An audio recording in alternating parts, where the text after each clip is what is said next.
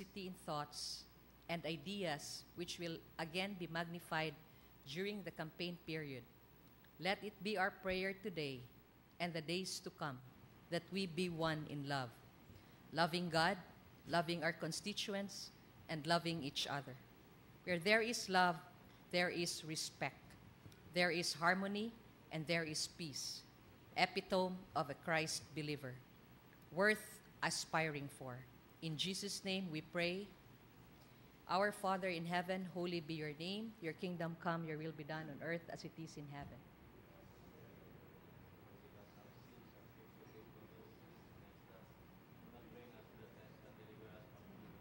Hail Mary, full of grace, the Lord is with you. Blessed are you among women, and blessed is the fruit of your womb, Jesus. Glory be to the Father, and to the Son, and to the Holy Spirit. In the name of the Father, of the Son, of the Holy Spirit.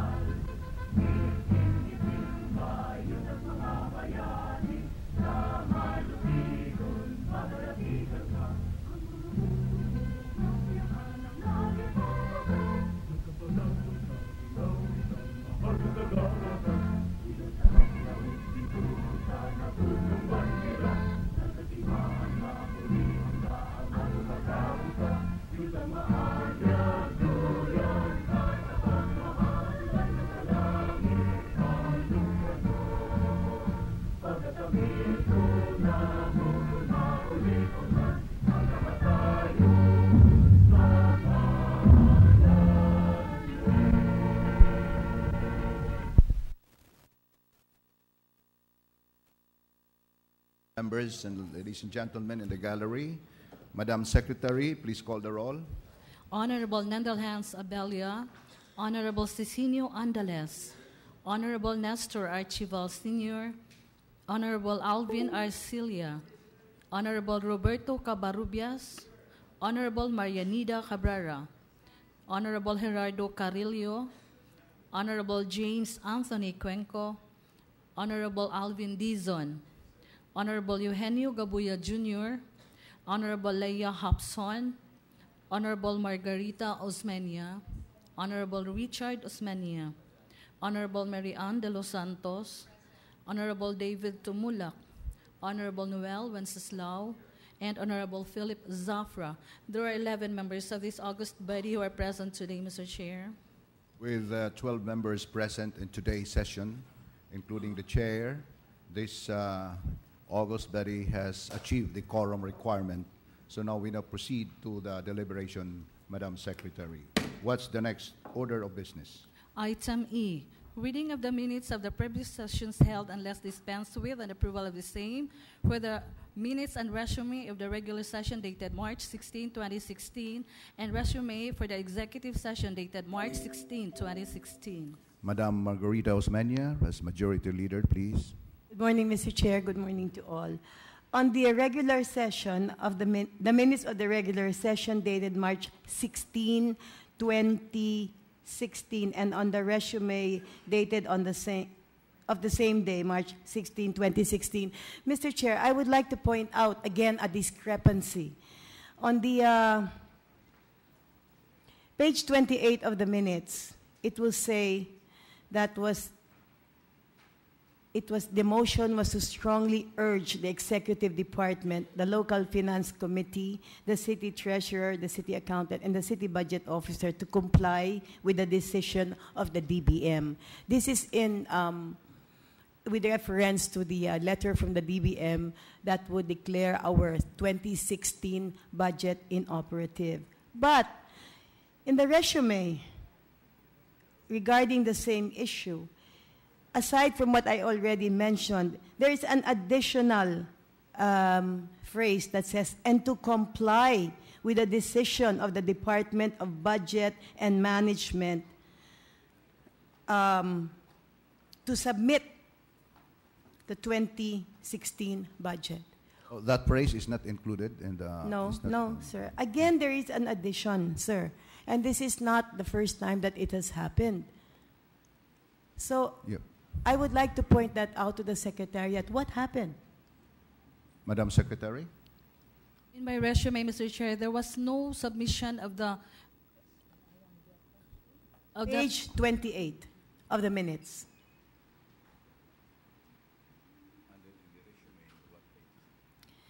On the resume, I cannot open my, cannot seem to open our,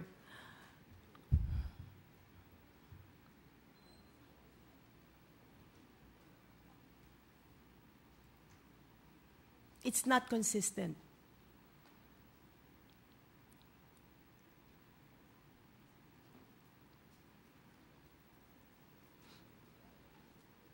It says here, strongly urging, it, the addition there was to submit to the City Council the revised annual budget calendar year 2016. That was never mentioned. Madam Secretary? I'll check with the minutes, Mr. Chair. is not here with me right now, but the resume is here with me. Uh, On the resume. I just read the resume, Mr. Chair. Yeah, in the resume, uh, it seems that there is additional uh, statement made by Honorable Osmeña. I mean, uh, this has been uh, uh, repeatedly called upon by the members of the City Council that uh, there are, this is very serious uh, uh, insertion of the resume, uh, Mr. Chair, that uh, we have to, I think, uh, do something about this. Uh, So what is the pressure of the body, uh, Member Angeles? Uh, Well, if uh, we can have somebody who is uh, responsible enough to take care of the minutes and the resume so that it will jibe. Because it seems that uh, the resume and the minutes jibe each other. Does not reflect. the- Yeah. Okay. uh, Madam does not reflect Secretary. So in that regard, can, uh, what is now the pleasure of the body to have the matter rectified, to have the matter uh, incorporated? Uh, Do I hear any motion for that purpose? Can, can, can we ask uh, uh, the uh, Cynthia, uh, the presence of Cynthia, uh, the, our regular uh, secretariat, uh, Cynthia, ah, kahulugan. kahulugan niya. Uh, you want her to be, to be, Yeah, to assist us. Uh, okay.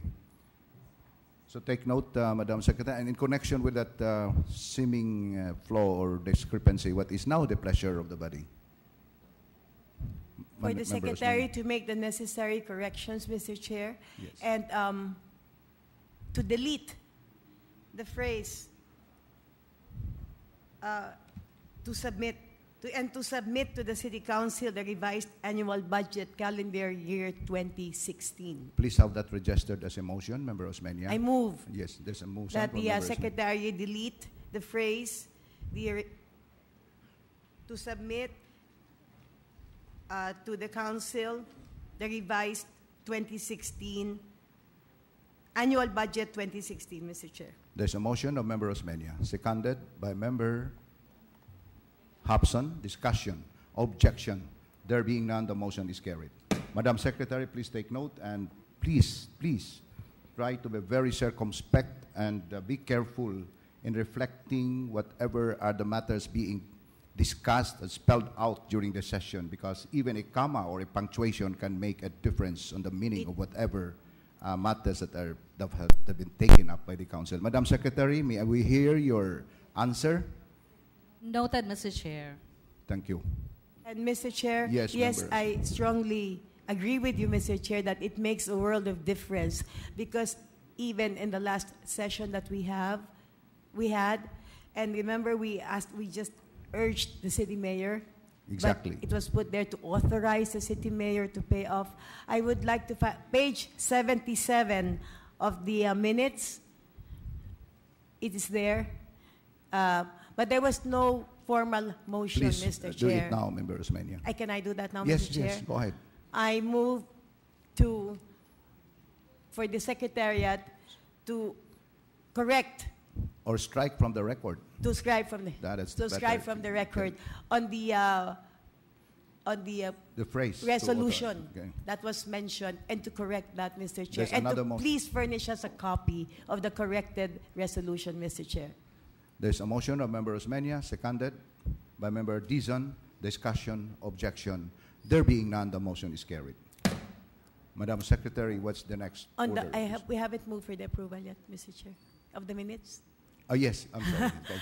That's not So with the, with the uh, amendments, Mr. Yes, Chair, the resolutions, uh, with the amendments that were presented earlier, I move to dispense the reading of the regular session uh, dated March 16, 2016, the executive session dated on the same day, and approved the same, Mr. Chair. There's an omnibus motion of Member Osmeña to, to, uh, uh, to dispense with the reading of the minutes, and likewise for the approval of the same, seconded by Member Archival Senior. Discussion, objection, there being none, the motion is carried. Madam Secretary, what is now the next order of business? Item F, public hearing for the presentation of the Ludo Power Corporation with the assistance of its consultant, Geosphere Technologies Incorporated, as part of the information, education, and communication activity on the proposed 2 by 150 MW coal-fired thermal power plant project to be located at Barangay Sawang Calero, this city, and also to hear the views of the various stakeholders as a condition prior to any approval or rejection of the project's Environmental Compliance Certificate, or ECC, per as per Resolution Number 13, 2082A, 2016, sponsored by Member Marianida Cabrera. Do we have speakers, Madam Secretary? Yes, Mr. How Chair. many, how many speakers? We have one, two, three, four, five, six speakers, Six Mr. Chair. speakers. Oh, quite a number. Anyway, um, before we call on the speakers, may we request the Honorable Member Cabrera to give us an insight of what this public hearing is all about. Member Cabrera, you are now recognized. Mr. Chair, this is a public hearing on the request of the Ludo Power Corporation to make a project presentation on its proposed 2 by 150 megawatt coal-fired thermal power plant project to be located at Barangay Sawang Calero of this city per resolution number 13-2082-2016 adopted on March 16, 2016. The proponent, Lodo Power Corporations, was is invited to be assisted by its consultant, Geosphere Technologies. Other stakeholders are also invited to speak on this. May we now ask the Secretariat, who are the parties present here, to speak on the subject matter. Thank you, Member Cabrera. So, Madam Secretary, please call on the first speaker. Our first speaker is um, consultant from the Ludo Power Corporation, Mr. Jose Renan- Renato Lorente. Mr. He's, he's Jose. got a presentation, Mr. Chair. Mr. Lorente, you are recognized. Uh, how long will be your presentation, Mr. Lorente? Roughly 30 minutes, but I'll make 30? it as fast as possible. Yes, because for the we have a pleasure of long, the- long session day. I'll today. try to skip some of the slides Please, when I feel yeah. if it's Just necessary. uh, spell out to us the vital, the more important points in your presentation. yes, Mr. Presiding Officer. Thank you, Thank Mr. you for the Lorente. Please understand us because this is going to be a long day for us, and we have also visitors from Kocek, Belgium, who would like to make some presentation before the council. We Go ahead, Mr. Lorente. Yeah. Go ahead, please. Uh, this is the presentation on the two, the proposed 2 by 150 coal-fired power plant by Ludo Power Corporation. This is to be located in Sawang Calero, this, this city. But first, let me state that Ludo Power Corporation is committed to create a balance between business, sustainability, and environmental protection. And likewise, Ludo Power commits further to work hand in hand with its stakeholder in participatory environmental monitoring towards protecting the environment. And that is the very essence of our project. Next slide, please. Uh, this is the outline. Can we skip? And of course, these are the project information. This is uh, exactly to be located in Barangay Sawang Calero, where the Ludoloy M oil refinery use, is, is, is located. And uh, it has a capacity of 2 by 150 megawatts. And the technology to be used is a pulverized coal technology subcritical boiler. This is the, it shows the project location and another view of the project location and a different perspective of the project location taken from the inland of Cebu City towards the, the bay. Uh, this is what prompted us to propose a coal-fired power project in Cebu. As you may note, the red fonts below represents the, the, the additional requirement that may be needed by, by the Visayas grid that by 2023 and up to 2025, we'll be having a shortfall in the energy supply of, of the grid, looking at the Visayas grid. And these are the different installed and dependable capacities in the Visayas region. This was lifted from the Department of Energy in the year 2014. As you can see, coal is still one of the largest fuel type or our source of energy within the Visayas grid. And uh, we have very minuscule amount of natural gas, solar, biomass, and hydro. But in Cebu, we cannot have hydro because water is a main concern in Cebu. And that, under the water code, industrial use of water is the least priority, and therefore we cannot go with hydro. Why coal? It is cheaper than diesel and gas. It is abundant. And at current consumption rate, it will last 200 more years. And there are technologies available for coal-fired technology. Uh, these are the countries that are heavily dependent on coal-fired power plant. One is Mongolia, South Africa, Poland, China, India, Australia, Israel, Indonesia, and the Philippines is roughly at 34% of the total installed capacity nationwide.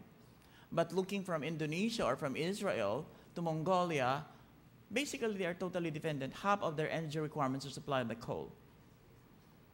Uh, what coal? There's no difference between a decayed organic matter. Basically, we call them peat over time, as it decays, it undergoes chemical composition and changes in the degradation, we call them peat.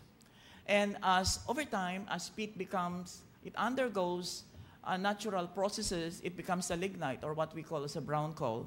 And then over time, resulting from, again, the physical and the chemical properties of the earth, then it is converted into coal. So in essence, coal is a fossilized organic matter. Uh, compared with uling or with charcoal, the one basically used in domestic household, coal cannot ignite easily compared to charcoal. And that is the main difference. In terms of technology, this is a typical coal-fired power plant technology, a subcritical boiler. So basically, we have the fuel, the boiler, where the boiler, where the coal is burned, and inside the boiler tubes are water. And with the heat or the, by, by heat transfer, the water is evaporated, which drives the turbine and eventually generate electricity. And in the process, we may generate some environmental aspects. And one of them is dust. And it is collected by electrostatic precipitator. Another aspect is a sulfur dioxide, because sulfur is present in the coal, and when it undergoes combustion, it produces a gas known as sulfur dioxide. And it has to be cleaned. We call them a flue gas desulfurizer before it is emitted into the environment. We have coal unloading facility.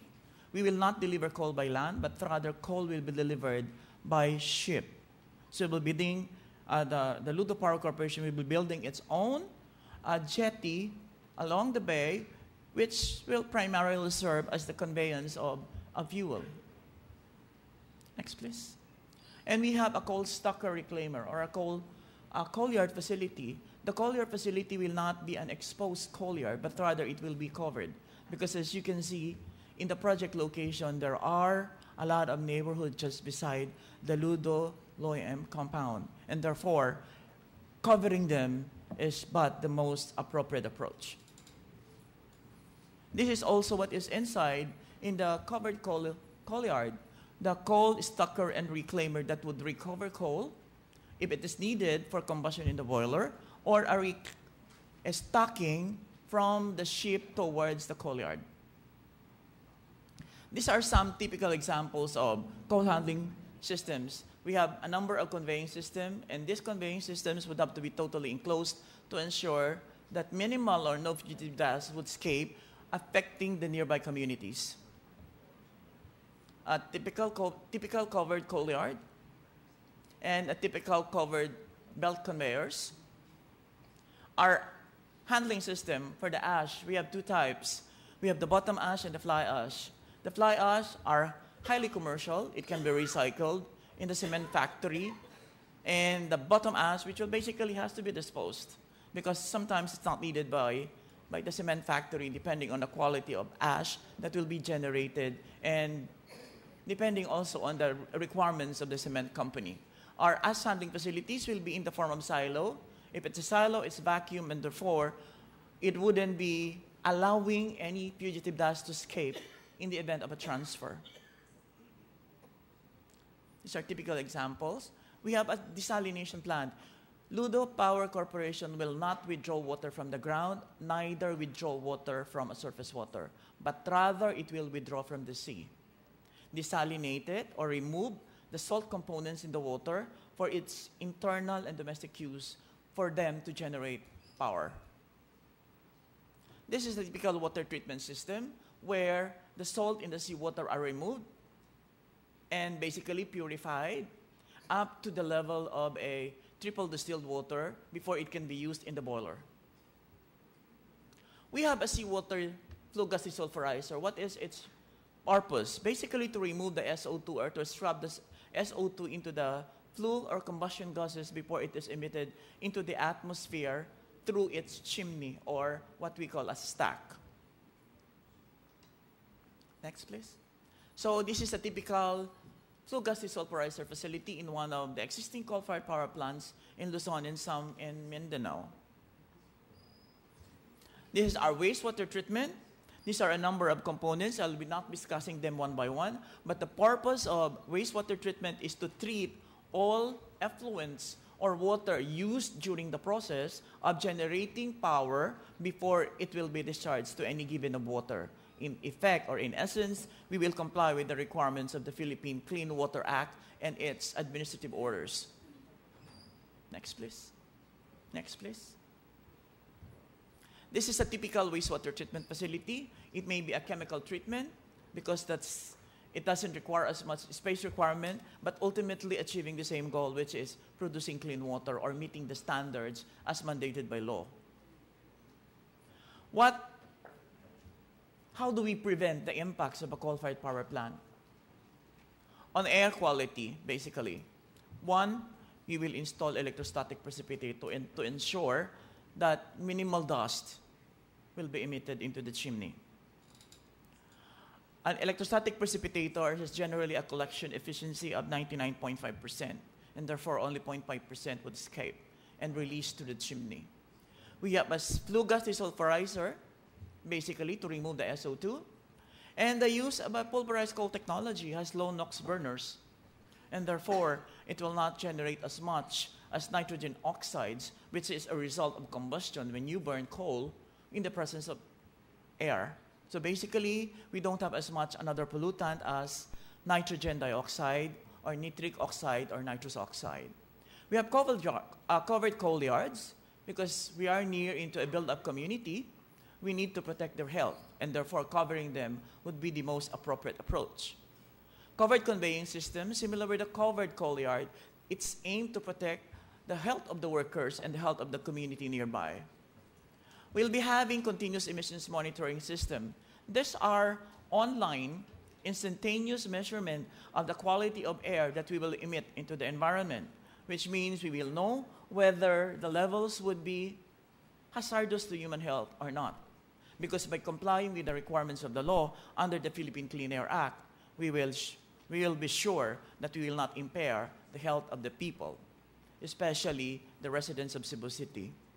And we will Coupled with that, we will monitor the ambient air quality because the quality is aimed at protecting public health. Air quality standards are basically lifted by the government from the WHO standards of the World Health Organization on different regulated or criteria pollutant, namely dust, SO2, nitrogen, and carbon monoxide. And basically, the bottom line is we will comply with the requirements of the Philippine Clean Air Act and its implementing rules and regulations, including the subsequent administrative orders issued by the government, mainly by the Department of Environment and Natural Resources through its Environmental Management Bureau. What about the ash? Generated coal ash will be transported in sealed tankers and covered trucks to the cement company within Cebu for recycling and potential industrial reuse.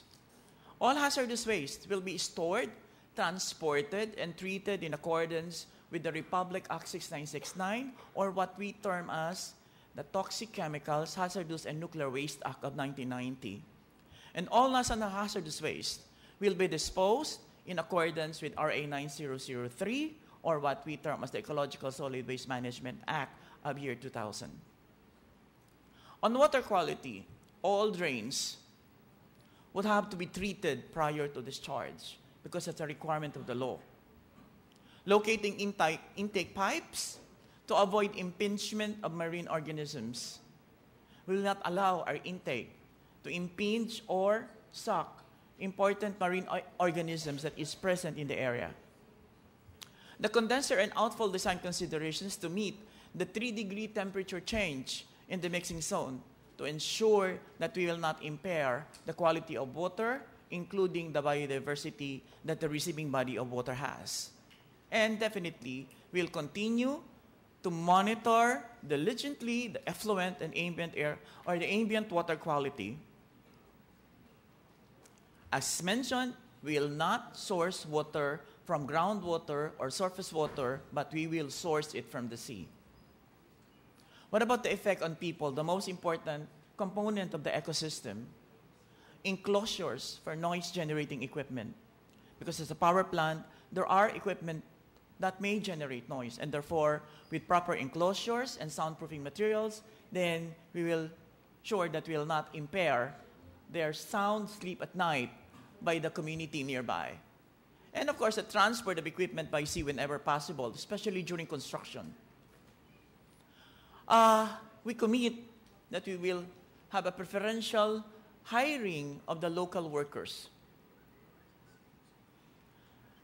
We commit that there will be no displacement or involuntary settlement of residents. And of course, there will be social development program, as Ludo right now is doing. They have their own social responsibility, and that will continue, and probably it may be expand depending on the project scope and the project magnitude. And more importantly, public health surveys and monitoring is one of the key components to ensure that all our management systems employed and implemented will work as intended towards protecting the environment and mainly the health of the people, especially the residents of Sawang Calero and the nearby barangays.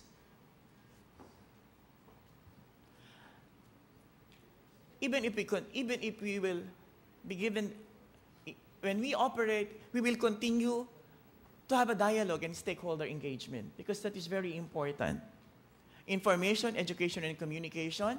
We have feedback mechanisms and definitely a resolution of issues and concerns. A focal person will be so designated to speak in behalf of the company through a continuing dialogue and stakeholder engagement. And not to be discounted is also a close coordination with the Department of Energy on financial benefits that may be derived when the plant operates. Because under the law, for every kilowatt hour sold by any generator, it, the generator has to pay through the Department of Energy under a special fund one centavo per kilowatt hour sold. What are the benefits? The usual benefit of any big project. Right now, Ludo has started its own social corporate responsibility, a number of them. And I think the people of Sawang Calero and nearby Balangay can attest to that. Next, please. The benefits, basically, from an increasing magnitude towards an increasing magnitude on the procurement of outsourcing opportunities. Basically, we'll focus more on the supply of local mat- low raw materials, income generation for the local community during construction, direct healthcare assistance, and livelihood deployment opportunities, of course. Contribution to local economy, payment of local taxes, benefits derived from the Department of Energy, Energy Regulations 194, purchase of supplies, and creation of business opportunities, which will be developed in participation and consultation with the local barangays or the host barangays through the formulation of a social development program. The social benefits, livelihood, It may be in the form of livelihood, education, and it may be in the form of health and sanitation. And definitely, con- concurrent with the building of the, of the coal-fired power plant, Ludo Power will also be a host to another substation which will serve as a new transmission link between Mactan and Cebu Islands. Generally, associated with any project, local business tax, during operation and construction, real property taxes, and the permitting associated during construction that have to be secured through the local government or the city government of Cebu. And these are the details of ER 1-94. Since Cebu is a highly urbanized city, the share derived from the financial benefits of ER 1-94 would have to be on the city of Cebu alone. The province do not have any share. And the distribution will be 40% to the host barangay and 60% to the host community. And the share of the city would be excluding the share of the host barangay or Sawang Calero. And these are the breakdown. And these are some of the development projects approved under the DOE, under ER 1-94. These are listings. Next, please. Livelihood. And of course, environment and uh, uh, health-related environment enhancement programs. And these are some of the projects implemented in some of the coal-fired power plants nationwide. Basically, these are some of them. And definitely, when the plant operates, the ENR, through its bureau or Environmental Management Bureau, has encouraged a participatory monitoring through the creation of a diverse, multi-partite monitoring team. Definitely, the city government of Cebu will be a part of it. The barangay unit of Sawang Calero and nearby barangays will be part of it. The NGOs and the POs, including the academe and the health sector, would have to be part because we need to know the impacts of the project and what kind of intervention that we need to employ should there be effects, if any. Okay? And thank you very much, Your Honor. Thank you, Mr. Lorente. Now, do we have questions, uh, interaction, or any rejoinder to the presentation of Mr. Lorente? Any member of the council would like to ask some questions? Mr. Yes, Mr. Chairman. Yes, uh, Um, Member At present, uh, there is a present um, coal-powered plant in uh, the complex. There is an existing small 10 megawatt coal-fired power plant. 10 megawatt because that is a support facility of the refinery Mhm. for its internal power consumption. Because at the time, the power supply is not as stable as today. So indeed, there used to be, or there is still, a small coal-fired power plant in the area. And what's the technology being utilized in that small power plant uh, of the complex? Since that is an old, old technology, uh, it's a it's a pulverized, but not really the the level of the pulverized technology as today. Mhm.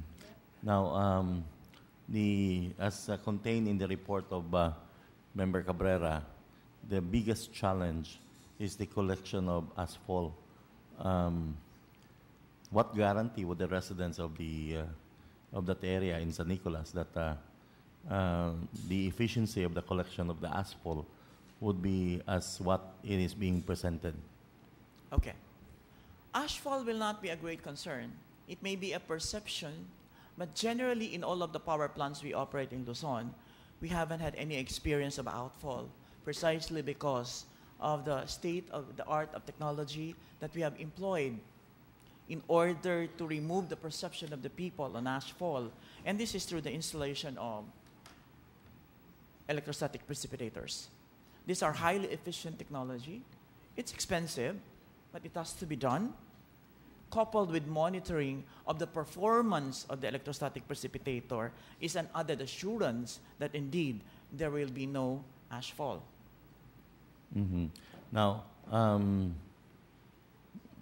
realizing that uh, the the uh, complex, as it is now, is highly populated, and in fact, uh, there is a bigger population, residential population, within that area. Um, what noise uh, will it generate when a 250 megawatt uh, uh, plant will will operate at its maximum level? In all of the coal-fired power plants we operate in Luzon, most of the people are really amazed. Amazed in the sense that they're not hearing any noise. They're not seeing any smoke. But the plant operates and generates electricity 24 hours a day. So, how did it happen? One is looking at the maintenance of the equipment and the machines. But primarily, we look at the type of insulation materials that will enclose the high intensity or the noise generating equipment. Maintenance of them is another issue. Ins- installing is one, but maintaining has always to be part of our daily lives in operating the power plant. Mm-hmm. It's similar to a car. If you buy a car, if you don't maintain them, it will back down. But if you buy a car, if you maintain them well, then it will- definitely last long and it wouldn't cause you so much damage. You, you mentioned that uh, you have a similar power plant uh, somewhere in Luzon. Uh, could you explain in details? Ah, okay. Thank you for the opportunity. We operate a 1,249 megawatts coal-fired power plant in Sual, Pangasinan. If you know the 100 Islands in Pangasinan, that's a municipality before Alaminos City of Pangasinan that hosts the 100 Islands. So it's in the middle of the city. It's, it's, it's at the outskirts, but there are a number of residents within the barangay. When we put up the power plant, there are few residents, but right now there are a number of residents. And there are also a number of fish pens in the outfall of the power plant. I am surprised why would be putting a fish pen at the outfall of coal-fired power plant.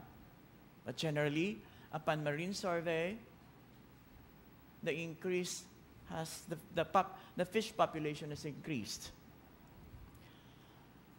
Uh, another power plant of ours is located south of Luzon. This is in Pagbilao, Quezon. In contrast with Sual, Pagbilao is highly populated. Next to our fins are residents.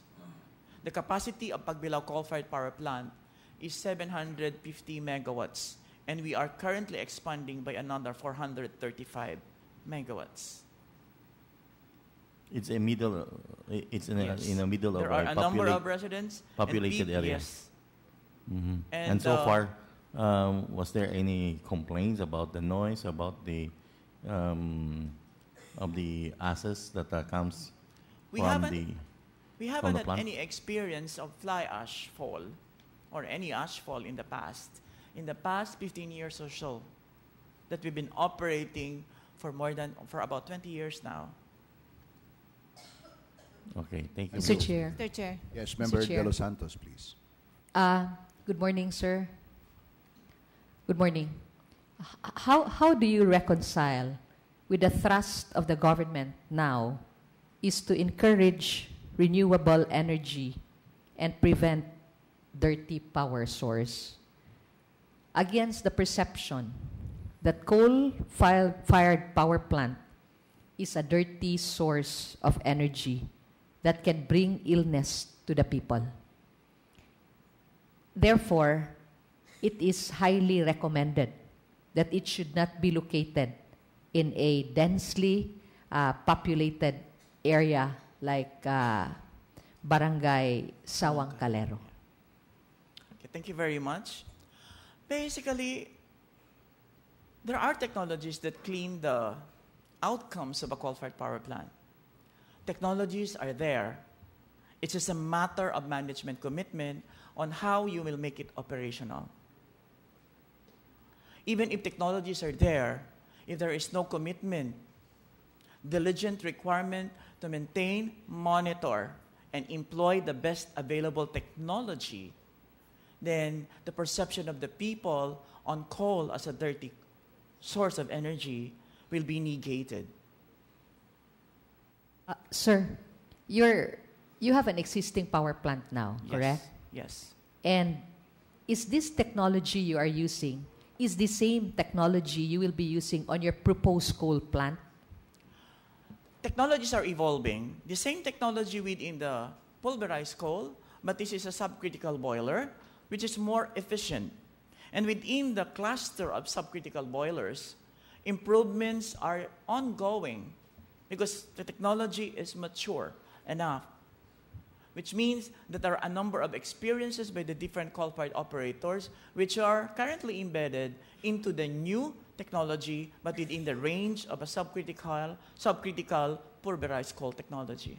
So are you telling us that with the present technology that you will be using on your proposed coal, uh, there is no health uh, illness uh, issues? Yes, Are you sure? yes. Uh, just for the benefit of all, once upon a time, this council revoked the uh, tower in one of the cell site in one of the north uh, barangay in the city of Cebu for the reason of uh, health issues. So, uh, more or less, I can see the there is a it is similarly situated. Uh, it is a similar situation. So, uh, technology also evolved on the cell site as well. So are you telling us that with your present technology, there is 0% in relation to health issues? So long as we manage the plant very well, so long as we monitor, there is no problem. I'd like to cite you an example. In Pangasinan, in Sual, and in Pagbilao, Quezon, we did an environmental health survey. It's a public, similar to an epidemiological studies, before we operated. So which means we have a baseline of what are the leading causes of morbidity and mortality in the area before we operate. We had been operating in Pagbilao for the past 20 years and in Sual for the past 16 years. In our environmental health monitoring, public health monitoring, by the way, we, we commissioned the, the UP College of Public Health in doing the study for us. The morbidity or the pattern of morbidity and mortality hasn't changed. Most of the illnesses recorded are related to poverty index, which means failure of a family to eat three square, three square meals a day would definitely have an impact on the individual's health. And sad to say, up to this day, even with our presence, although we do not control how the local government spends its money from the taxes that we pay, still a number of them, a number of families fail to eat three square meals a day. Mr. Chair. Thank you, Member. Ders- Yes, yes. No, I- we- I have to acknowledge first Member Gabuya because he was the first one, then Member Cabrera, please. Thank you, Mr. Chair, and good morning, Mr. Speaker. Uh, the coal-powered plant that you intend to construct or build can produce electricity, right? Yes, sir. And uh, eventually, uh, uh, the people can uh, have a, a lesser cost of elect- electricity because of this coal-powered plant you intend to build. And there is also such thing as wind turbine. There's also such thing as a solar solar system that uh, equally can produce. Uh, it's a good source of uh, electricity that people can also uh, experience a lesser cost of electricity. So, uh, why not make of, of all the three, of all the three uh, supposedly good source of electricity? Why coal power plant? Why not solar? Why not wind turbine? Thank you very much, sir. One, uh, on solar, the space requirement of a solar energy or solar project, for every megawatt, you need two hectares. Roughly, for a 300 megawatt coal-fired power plant, and if you translate that into a solar, at the minimum, you may need 500 hectares.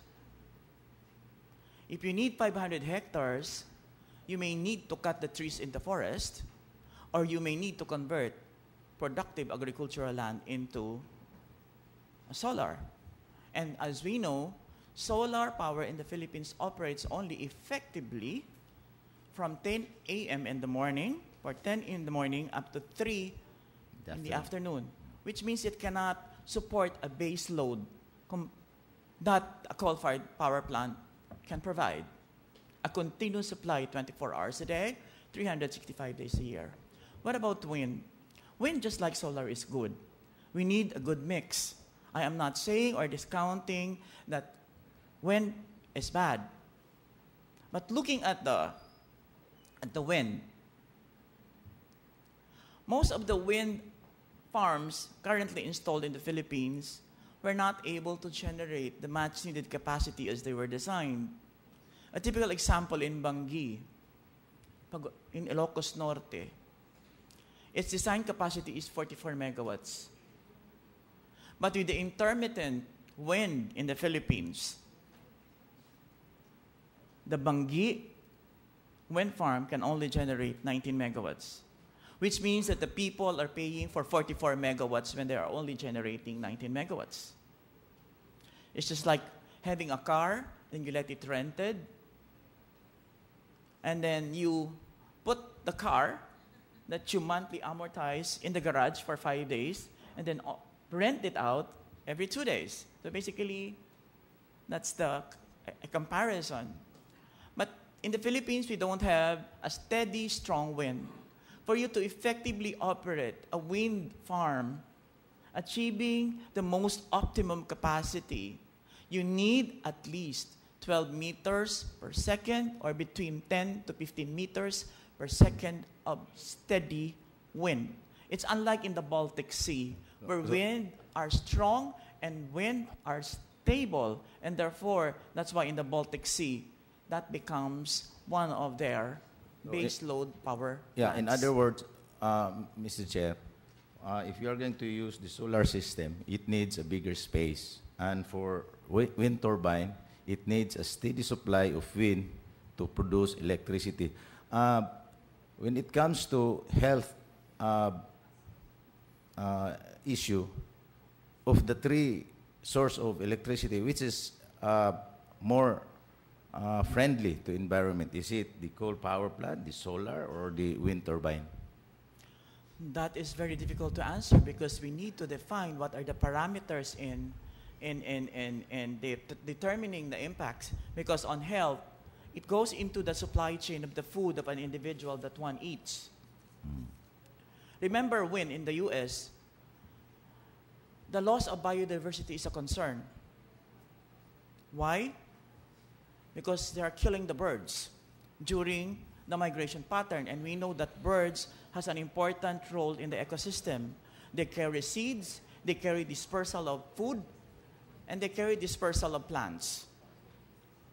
Similarly, it's also happening in Bangui. Residents are seeing dead birds in the morning.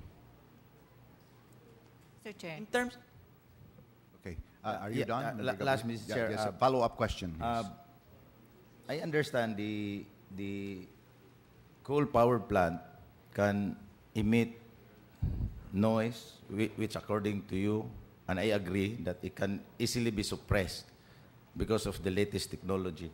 And for the displacement of the resident, again, it can also be addressed because you can easily provide them for a better place to live in. I think we should know the, the, the effect of the health issue, Mrs. Chair.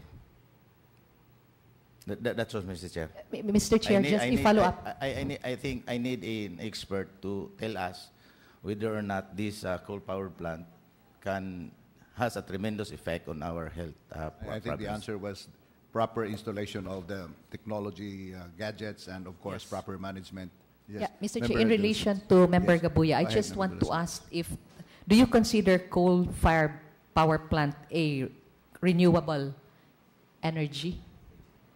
Because you said it's very difficult to answer, which is more friendly to one, uh, definitely, when you say the environment. When you say uh, renewable, my definition of renewable is that the, the resource is infinite, which means it, it's not depleted. And we know that coal mines have a life, which means at the end of the life of a coal mine, there's no coal. And therefore, we say anything that we mine is not renewable. Thank you, Member De Los Santos. Let's hear now from Yeah. Member Cabrera. Chairman. Good morning. From 10 megawatt, you would like to increase that to 150, Uh, 200, 250, 300, po, 300 megawatts. 300 megawatts. Okay. So under DAO number 03, uh, this project is under category E or environmentally critical projects. Yes, ma'am. So you you lay down your uh, based on your presentations the the things you have to do uh, be based in the in your presentations. Uh, so you need to have an ECC on this. Yes, ma'am. Yeah, my, my question is uh, based on your presentation on the technology, and we know that uh, coal content heavy metals. Uh, can you explain to us uh, how you can erase the heavy metals on coal? Okay. Thank you very much, ma'am, for the opportunity. There are five notorious heavy metals that are present on coal, or for that matter, any material that comes from Earth. Alphabetically, arsenic, cadmium, chromium, lead, and mercury. These five metals are heavily studied in terms of the health effects. It ranges from itai-itai to brain damage to attacking the central nervous system. That's why they are not allowed. But in the process of combustion, all of the heavy metals are converted into oxides. When you burn coal, because these trace metals are present in the coal, it becomes converted into oxides, which means arsenic present in coal, when you burn coal, the main product is arsenic trioxide or arsenic pentoxide. In terms of chromium, it's chromium trioxide. In terms of lead, it's lead oxide. In terms of mercury, it could be lead oxide, or mercuric oxide, or mercuric oxide. Basically, all of them are converted into oxides, and most of the oxides are present in solid form. Which means these metals agglomerates with the bottom ash mainly, and some of them in the fly ash. If it's in the fly ash, it's collected by the electrostatic precipitator and put in the silo. Similar is with the bottom ash. So basically, in short, all of the metals, when you burn coal, will be converted into oxides and agglomerate in the ash. So, Mr. Chair, maybe we can yes, have uh, another speaker, Mr. Chair. Yes. Uh, Mr. Chairman, Any- let- let's- let- yes, member, let's hear from Member Andales. Yeah, Let's uh, give others a chance to propound questions. Uh, engineer, uh, will you agree with me that uh, uh, the burning of coal continues uh, to be leading sources of carbon dioxide emission, and that will greatly affect the global warming and disturbance of global ecological balance? You agree with that? I totally agree. Anything that you burn will produce carbon dioxide. Not only coal, including LPG, including wood, including paper, including incineration of human. You produce carbon dioxide because once there is present of a fuel or a material that is capable of burning in the presence of oxygen will always produce carbon dioxide. Uh, are you aware also that uh, DOH Memorandum 2010, the 0184, the warn, uh, made a warning of ill effects of the exposure of coal dust and ash. Are you aware of that? I am aware of that. Okay.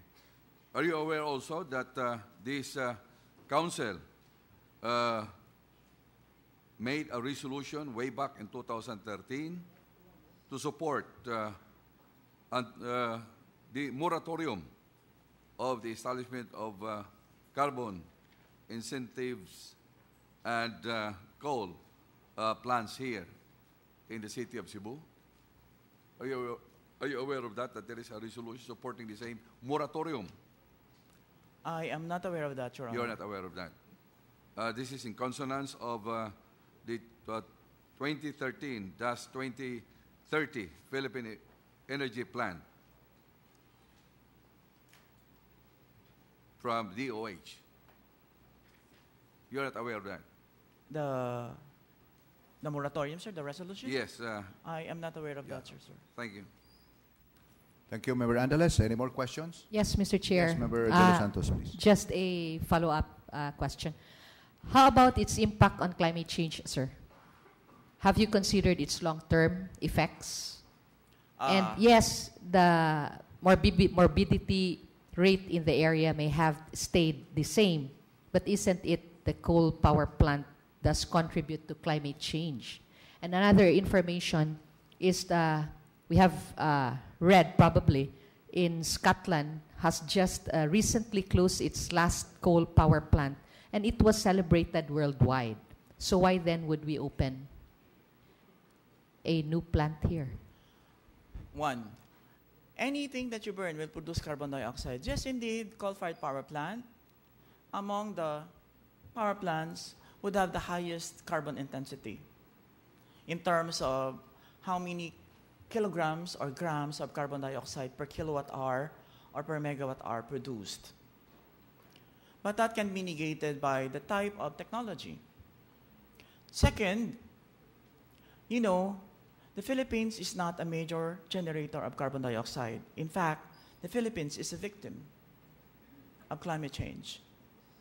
Even if the Philippines stop all its coal-fired power plant, or for that matter, the Philippines become carbon neutral, which means that all we generate are uptaken by the reforestation project of the government.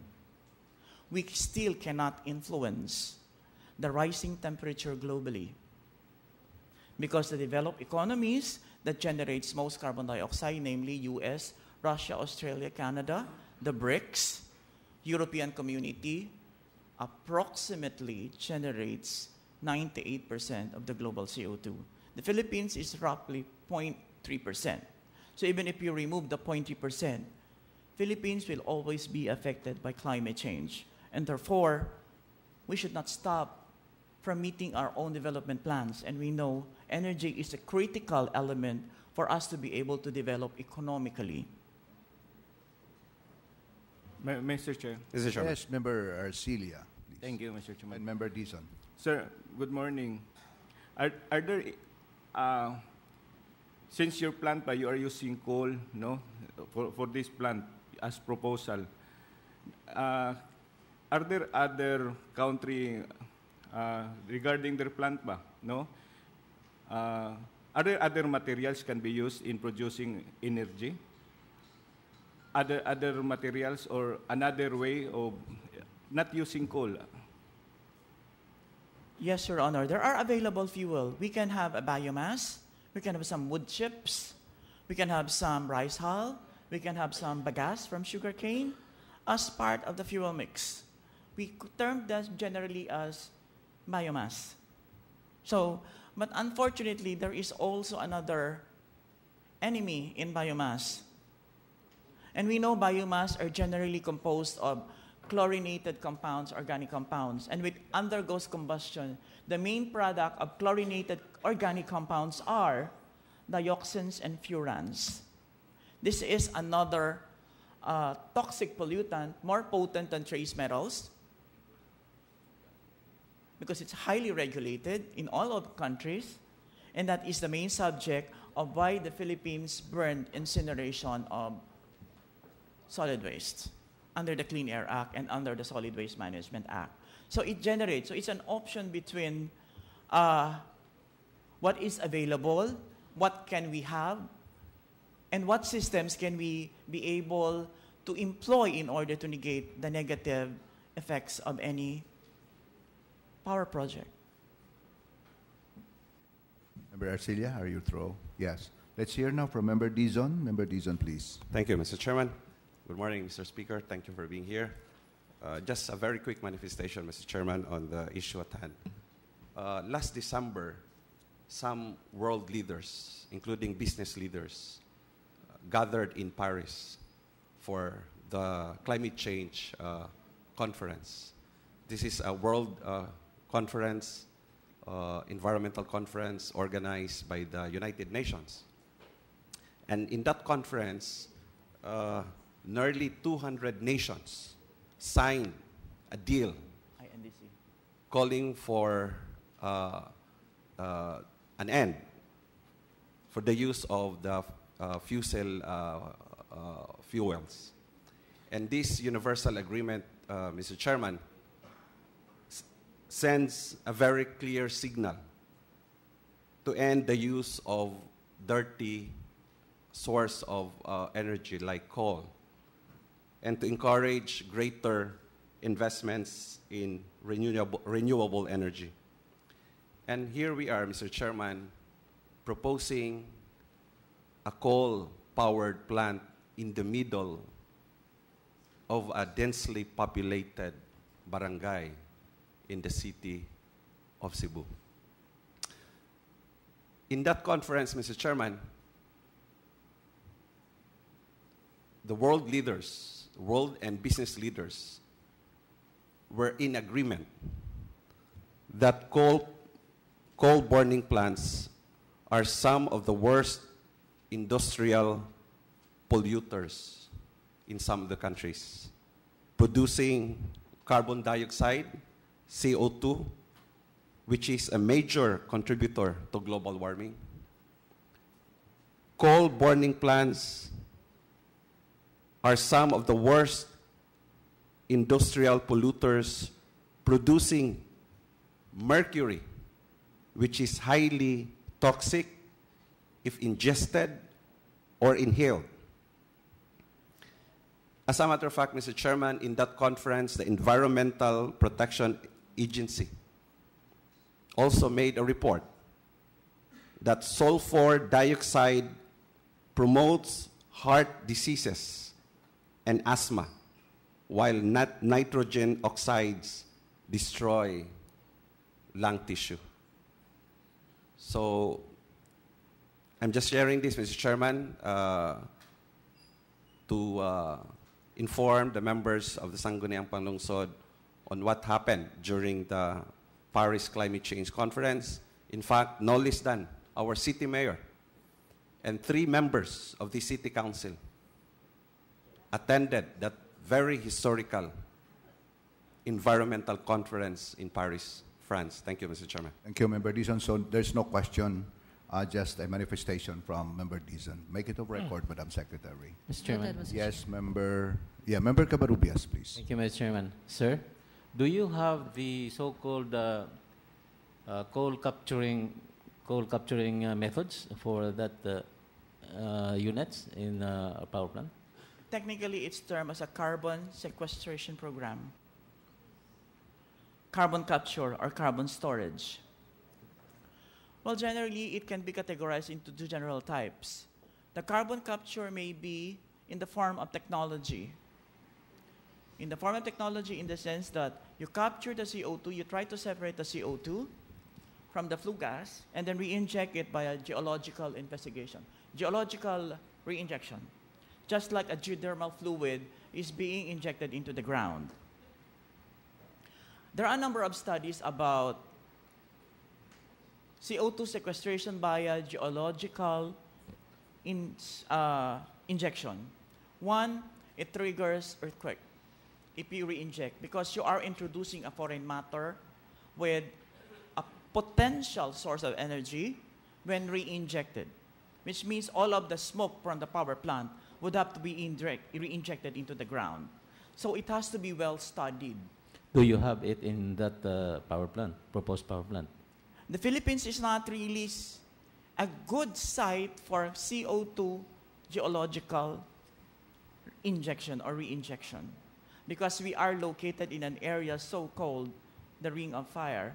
We have a number of fault lines, both active and inactive fault lines. And re-injecting CO2, this was a done or study done in US and Canada, that it may trigger a much bigger earthquake. And the other form of carbon sequestration is through biological sequestration. This is through regreening or revegetation, or simple terms, reforestation or tree planting. Because one, about nine plants can absorb roughly two grams of carbon dioxide per year. That is a rule of thumb. Depending on the species of plant, sometimes some plants absorb more carbon dioxide than a different or any other tree for that matter. A typical example, sir, of a tree capturing more CO2 is mangroves. They have the highest CO2 uptake than any other species known in the Philippines. Sanlisod. That's why it's more encouraging to plant mangroves if there are areas that needs to be replanted with where it requires a specific area where you can plant mangroves. So one of the carbon capture or sequestration program is what we term as the REFO or tree planting. Thank you. Mr. Chair. Mr. Chairman. Yes. Addition, Mr. le- Chair. Let's hear from member. Cab- oh, can we can we uh, recognize first member Wenceslao because this is his first time, then member Cabrera. Thank you. Thank you, Mr. S- Mr. Chairman. Uh, Mr. Speaker, good morning. I am just concerned with uh, the, the byproducts of uh, the toxic byproducts of the coal and uh, especially on the disposal of the toxic byproducts. Um, can you spell out what are your uh, safety measures that, that the toxic byproducts will not be harmful, especially to the, to the health of uh, each and every individual? Okay. Mainly since I mentioned a while ago that most of the trace metals when combusted are found in the fly ash. So definitely fly ash, bottom ash contains trace metals. How do we ensure that this will not dissipate into the environment and affecting the people? One, there are specific tests that would determine whether the fly ash is indeed or will be categorized as hazardous waste that may cause ill effects to the people. Our own rules, Republic 6969, through its Department Order number 2013-22, outlines the specific test. And this test is what we term chemically as the toxicity characterization and leaching potential. Sounds foreign to you, but simply put, we will extract, we will have an extract from the sample and subject it to analysis. Different trace metals have different fingerprints. If you comply with that fingerprints, then we say that the substance being so examined can be categorized as non-hazardous. If you are within that level, you can, we are sure that even if you expose the fly even up to 1,000 or 2,000 years, it will not leach out these potent toxic substances that we are afraid of. Which means it is very stable. No matter what you do, it cannot find its way into the environment through a liquid media. It will remain in solid form. And we are doing that as part of our regulatory requirements. In all our existing plans, we do that such kind of test.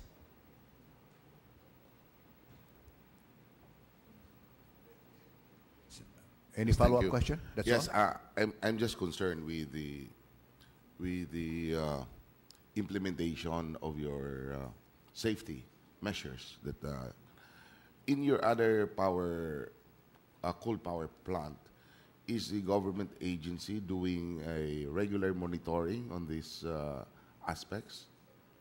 Yes, sir. We are subjected to a very rigid Rigid?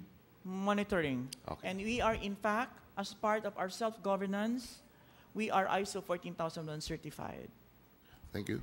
Mr. Chairman. La- Mr. last Chairman. question, Mr. Chair. Mr. Chairman. Mr. Chair. Uh, let's uh, hear from member Cabrera, then go back to member Cabarrubias. I just want to add on the uh, premise of uh, Bob Cabarubias. Based on your man- manifestations, uh, I assess that there is no coal plant technology that could arrest CO2 emo- emission except for reforestations and greening. The technology itself would attest because of the good carbon intensity and the en- efficiency of the power plant. Because power plant then and now could reduce but not really capture. It can only reduce by a certain degree, but not totally eliminate the carbon dioxide. So, how can you uh, how can you resolve on the issue of the emissions? Emission of carbon dioxide, ma'am? We cannot avoid the emission of carbon dioxide for a coal-fired power plant. More so with any other fuel. Natural gas does emit carbon dioxide. Oil emits carbon dioxide. Wood, when burned, would also emit carbon dioxide. The levels are only different. But when you put them in a power project, we will more focus on the efficiency and looking at the technology to ensure that it emits lesser quantity of carbon dioxide. Mr. Chair. Mr. Chairman. Chair. Uh, let's hear, I, I acknowledge, I recognize Member Cabarrubias, then Member Osmeña, then... Mr. Chair. Uh, le- let, let's hear from Member Thank. Cabarrubias. Thank you, Mr. Member Chairman. Osmeña, then Member Gabuya. Sir, do you agree that coal ash is uh, hazardous? Coal ash. Yes. Uh, Including any other substance known to man. These are all hazardous. So you have a product of coal ash in your power plant if it is approved. Now, have you ever identified the uh, location or where you are going to dump that ash? we are going to sell to a cement company. So you are not a cement company. Are, are they willing to purchase that coal ash? Yes, we are doing that in our existing power plant. They are taking all our ash 100%. Okay, thank you. Mr. Chair. Osmeña, please.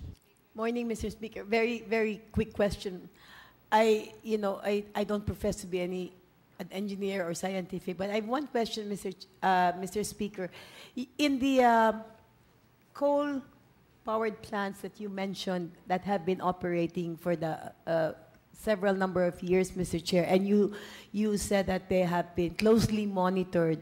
Has has there been any instance when um, the uh, monitoring agencies have pointed out defects or that you've had to close or you've had to repair or you've had to make corrections in any of these plants?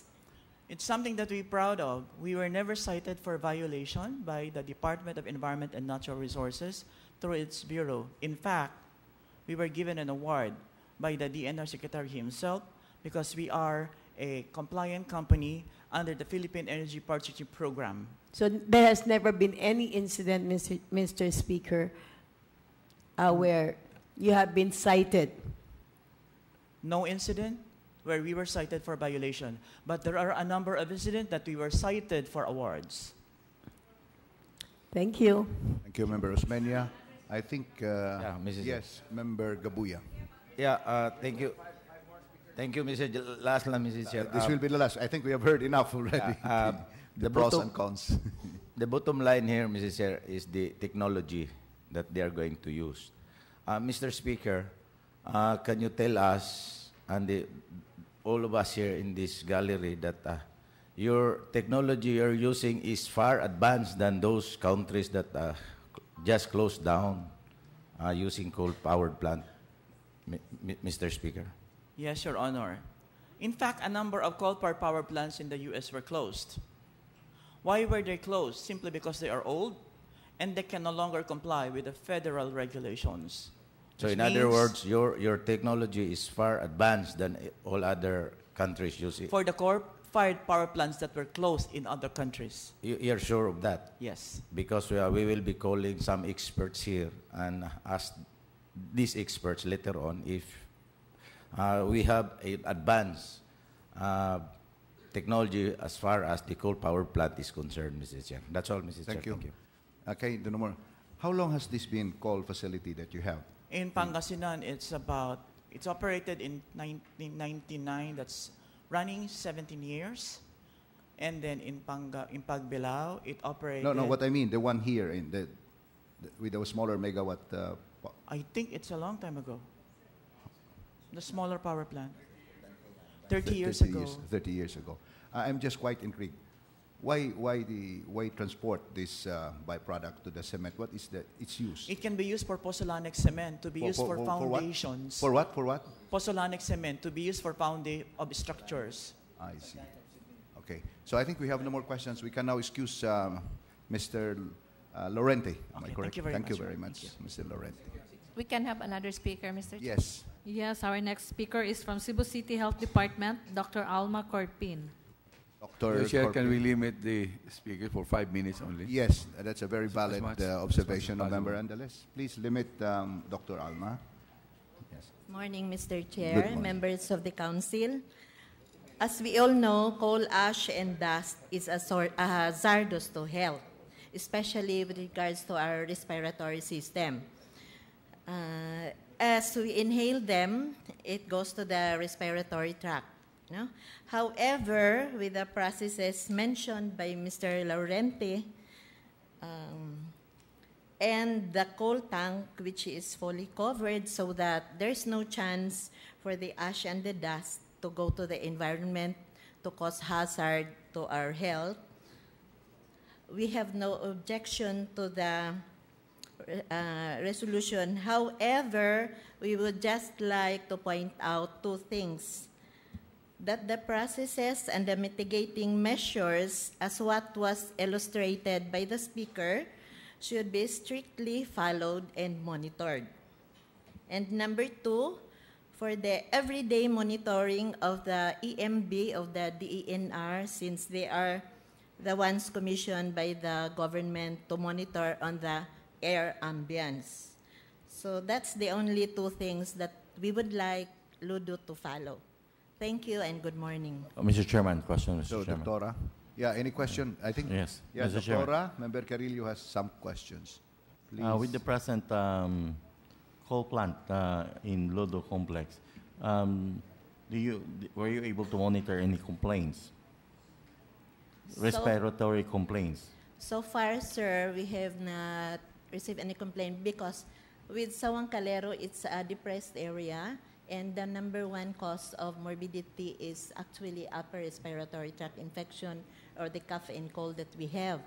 And it's mostly viral in origin, Viral. in etiology. Now, another question, Doc. Um, you said that uh, you do not pose any objection as long as there is a monitoring, strict monitoring of uh, the uh, power plant.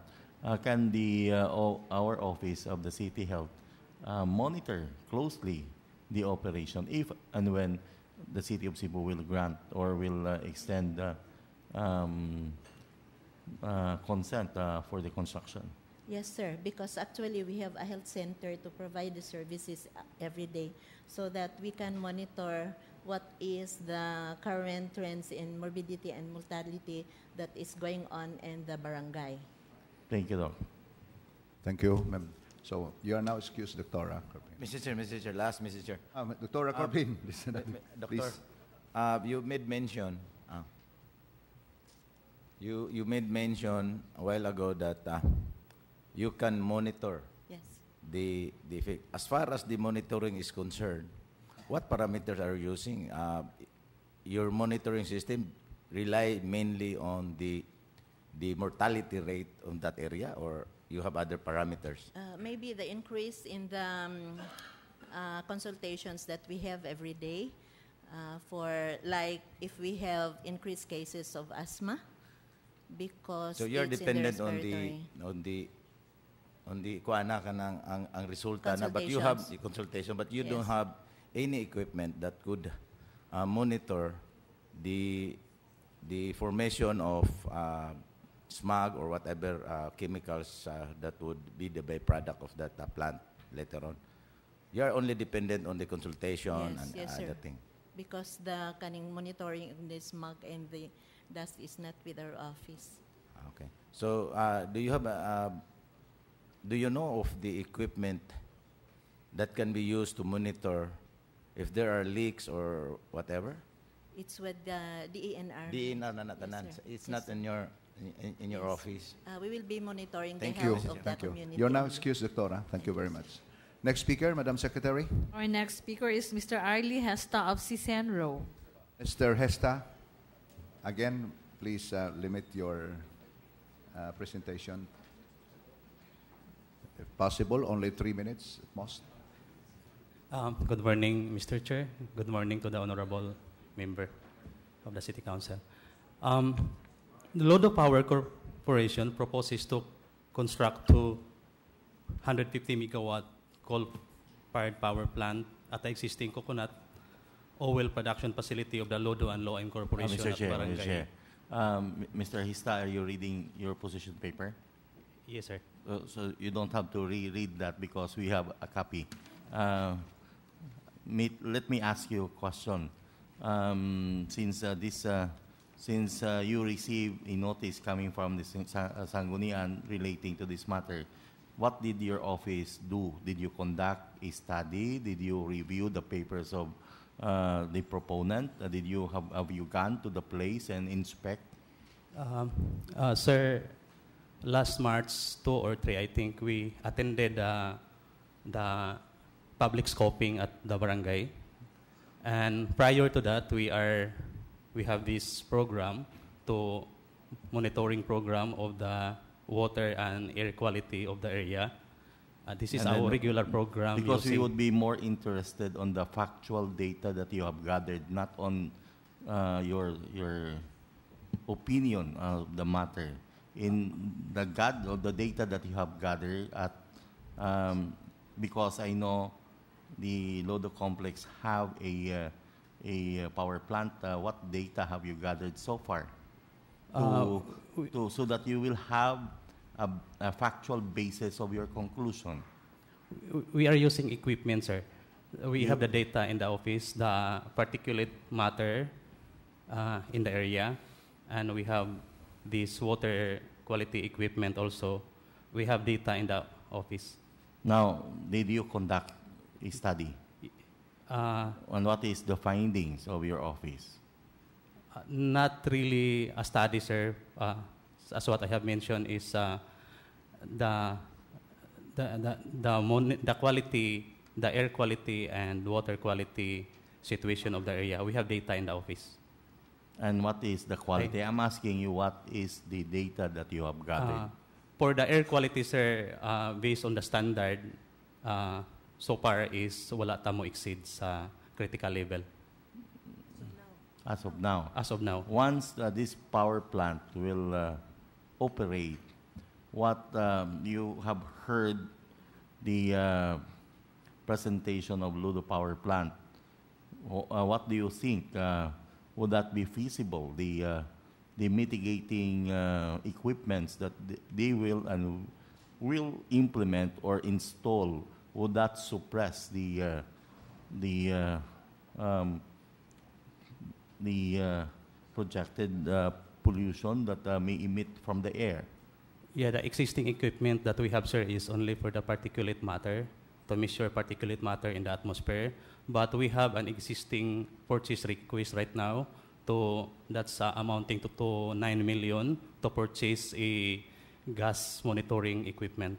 If that will be done, then we will have to closely monitor, uh, we can closely monitor the, the, the project in Mm, the okay. environment in the area. As of now, you are not capable of monitoring. You are saying that. Not, sir, because we don't have the equipment right now. Mhm. That would be all. Because, uh, Mr. Chair, I'm just trying to say because uh, he has a position paper and uh, he doesn't have to repeat and to you. reread his position paper. Thank you, Member Carrillo. So, any Just more a questions? point of Clarification. Mr. Yes, Chair. Member I just want to know uh, uh, from Arlie, what is the equipment necessary to monitor? Um, tha- that's what I have mentioned, sir, the, uh, the gas equipment that we... Do we have that? Uh, wa pa, sir, PR pa ta. Yeah, because uh, according to Cora a while ago, he said to monitor is the effect of health. But, But- yours is different. You have an equipment. I think that the DNR regional officer have the equipment. We in the city, uh, wala pa. Mr. Chair, Yes, Member Osmeña, please. morning.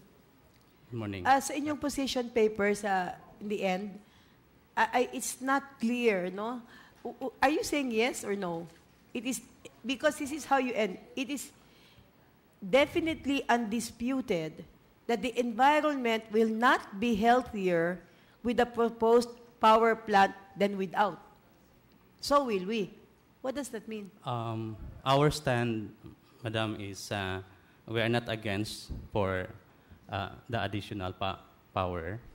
Only, uh, it's not it's not this kind of uh, power plant Oh. because So wait, wait. You are not against, yeah, the generation of uh, power. of course. No, but I don't think that's, a, that's an issue. But the, uh, what we are talking about here is a very specific kind of uh, power plant.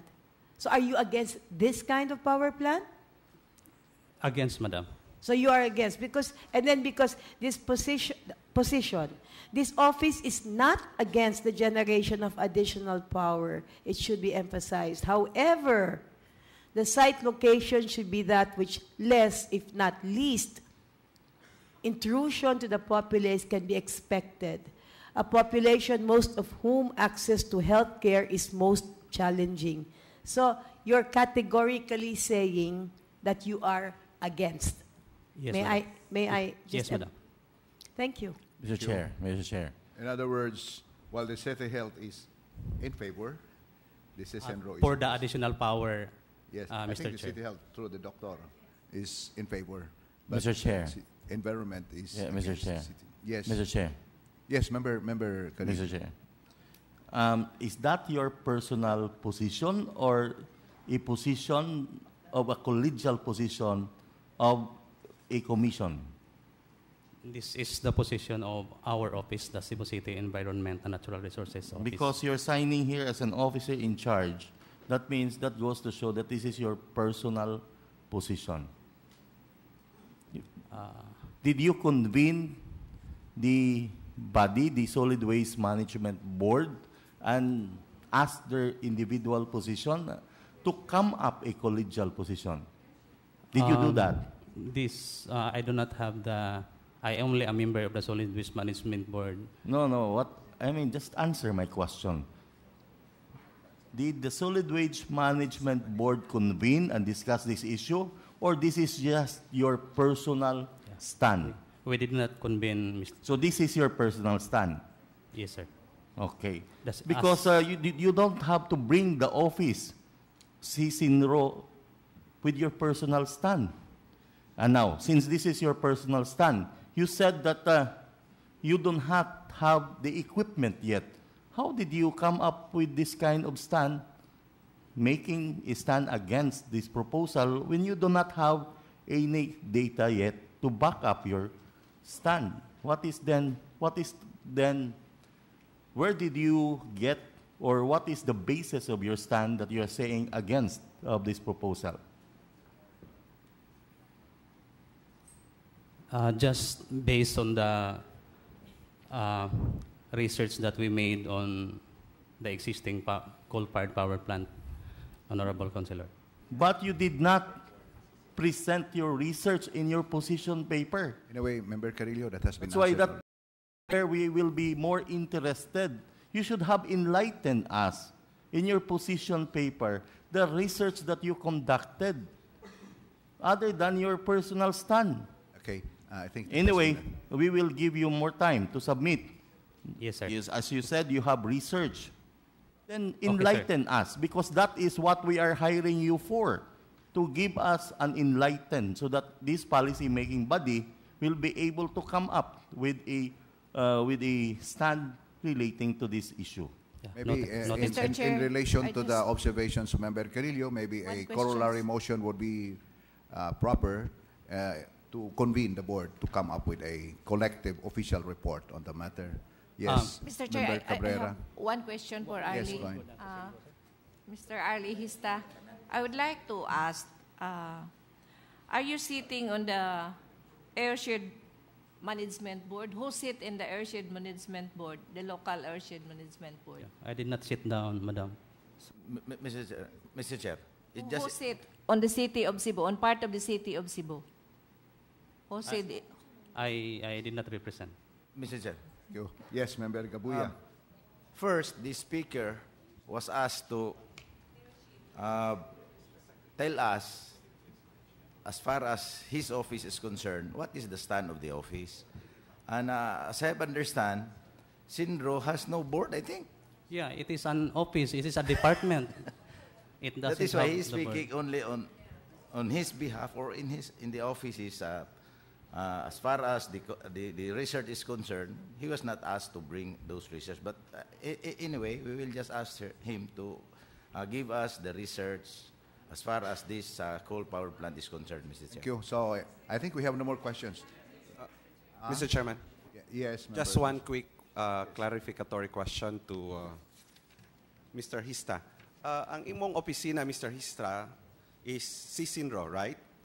Yes, sir. Uh, it is uh, distinct and separate nga opisina sa Solid Waste Management Board. Yes, sir. So, ang imong baruganan uh, nga gipadangat diri karon sa konseho uh, as, As- officer in charge as of officer of Sisinro. Dili wa nimo dada ang Solid Waste Management Board. Dili, sir. As- Kay usara man ka ka member Yes, sa Solid charge. Waste Management Board. Thank you. Thank you. So any more questions? So, uh, Mr. Hista, you are now excused. Thank you. Uh, last speaker, Madam Secretary. We still have four more speakers, Four. Mr. Chair. Yeah. Uh, are, are these four speakers in favor, or what is their stand? they disagree with the propo- uh, All- with the all- resolution, all- Mr. Chair. All of All them are against. against, Mr. Chair. Uh, maybe if, uh, yes, if uh, their testimonies would be merely corroborative with uh, the next speaker, maybe we can dispense with the three others and just submit position papers. Uh, can we hear now from those who are against this proposed measure, Madam Secretary? Mr. Chairman. Yes. Uh, in the spirit of participatory governance, Mr. Chairman, I would like to suggest that we will allow Okay, all the ahead. resource persons Okay. to uh, speak up on this issue, Mr. Chairman. Ilimita, ilimit lang siguro nato ang Yes, okay. oras. So Yeah, can we have you. now the next speaker, Madam Secretary? Our next speaker is Mr. Ruben Mooney of Greenpeace Southeast Robin Asia. Yuli, you're now recognized. Ruben. Okay. Uh, our next speaker is Mr. Aaron, Attorney Aaron Pedrosa of Sanlakas Party A- Aaron List. Pedrosa, please. Where are you? Yes. Y- Attorney Pedrosa, you're, Yes. you're, you're now recognized. Uh, thank you, Mr. Chair. Honorable members of the Cebu City Council, maayong buntag. I, I have furnished you a copy of a position paper signed by four organizations. The other signatory there is downstairs, joining the protest action against the proposal to build a new coal plant in Cebu City. So I speak in behalf of Attorney Gloria Estenzo Ramos of Oceana of Sanlakas Party of the Philippine Movement for Climate Justice Cebu and the Freedom from Debt Coalition Cebu. The President has committed to lower the greenhouse gas emissions of the Philippines by 70%. 70% reduction in the energy and transportation sector. Clearly, the, the proposal and later on, uh, God forbid, the approval of another coal plant in no less than Cebu City is a mockery of all our efforts toward the evils that is wrought by climate change, a rapidly changing climate. Cebu is one of the vulnerable provinces to impacts of climate change, rising temperature, landslide, among other things. To put up another coal plant would be to amplify the pre-existing vulnerability that we have. In my stint as the former Secretary General of Freedom from Debt Coalition Cebu, where we engaged the 200 megawatt coal plant in Naga, we conducted a study, and that study revealed that morb- morbidity and mortality in Naga City prior to the establishment of the 2011 coal plant, that is the KEPCO Salcon power plant, were already high. So much so that when the Asian Development Bank, the funder of the same coal plant, the 200 megawatt coal plant, in reaction to our complaint, because we filed legal and other complaints, ADB, the courts, and which we will also exhaust with this new coal plant in Sawang Calero, if it pushes through, the Asian Development Bank said that the morbidity and mortality rates in Naga City far exceed the national averages. And this is a scenario that we will now bring to Cebu City should there be an approval of this coal plant. Now, I would like to remind again this honorable body in 2013 when we, the same groups, PMCJ, FDC Cebu, San the Cebu Alliance for Safe and Sustainable Environment, pushed and lobbied for the approval of a resolution supporting our call for a moratorium on more coal plants.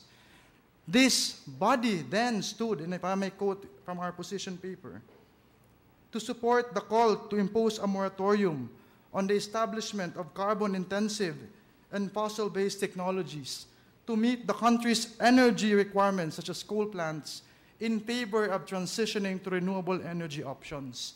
Cited in the same resolution, Resolution SP Resolution 12-5644 2013, or Article 16, Section 2, or, uh, Article 2, rather, Section 16 of the 1987 Constitution, Article 17 of the Local Government Code, which essentially means the promotion of the right of the people to a balanced and healthful ecology.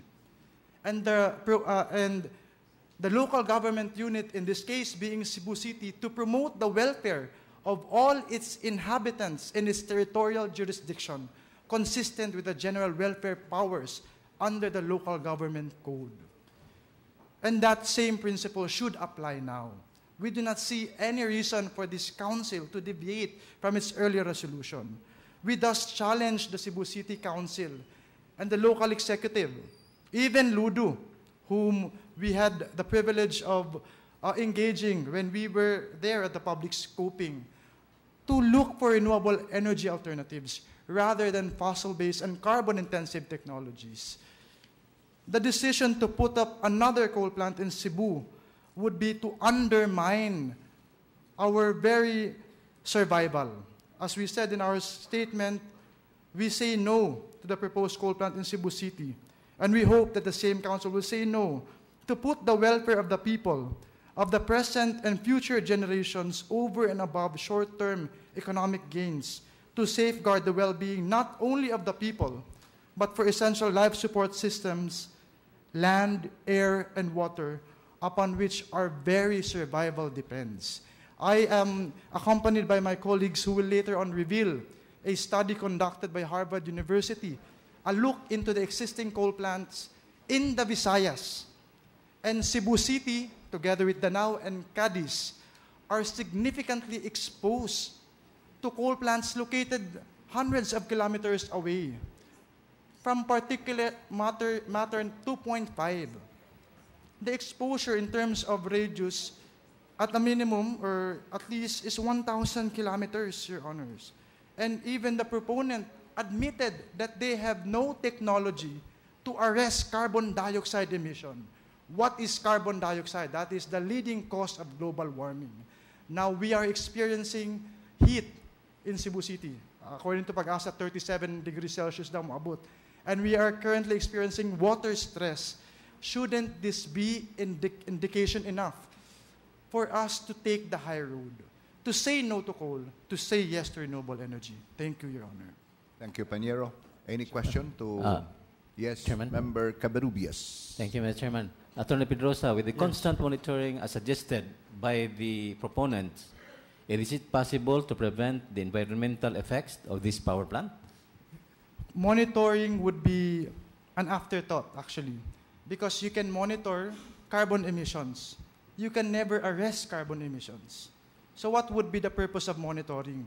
For us to identify how many, how much carbon dioxide we have contributed to an already highly concentrated atmosphere with carbon dioxide.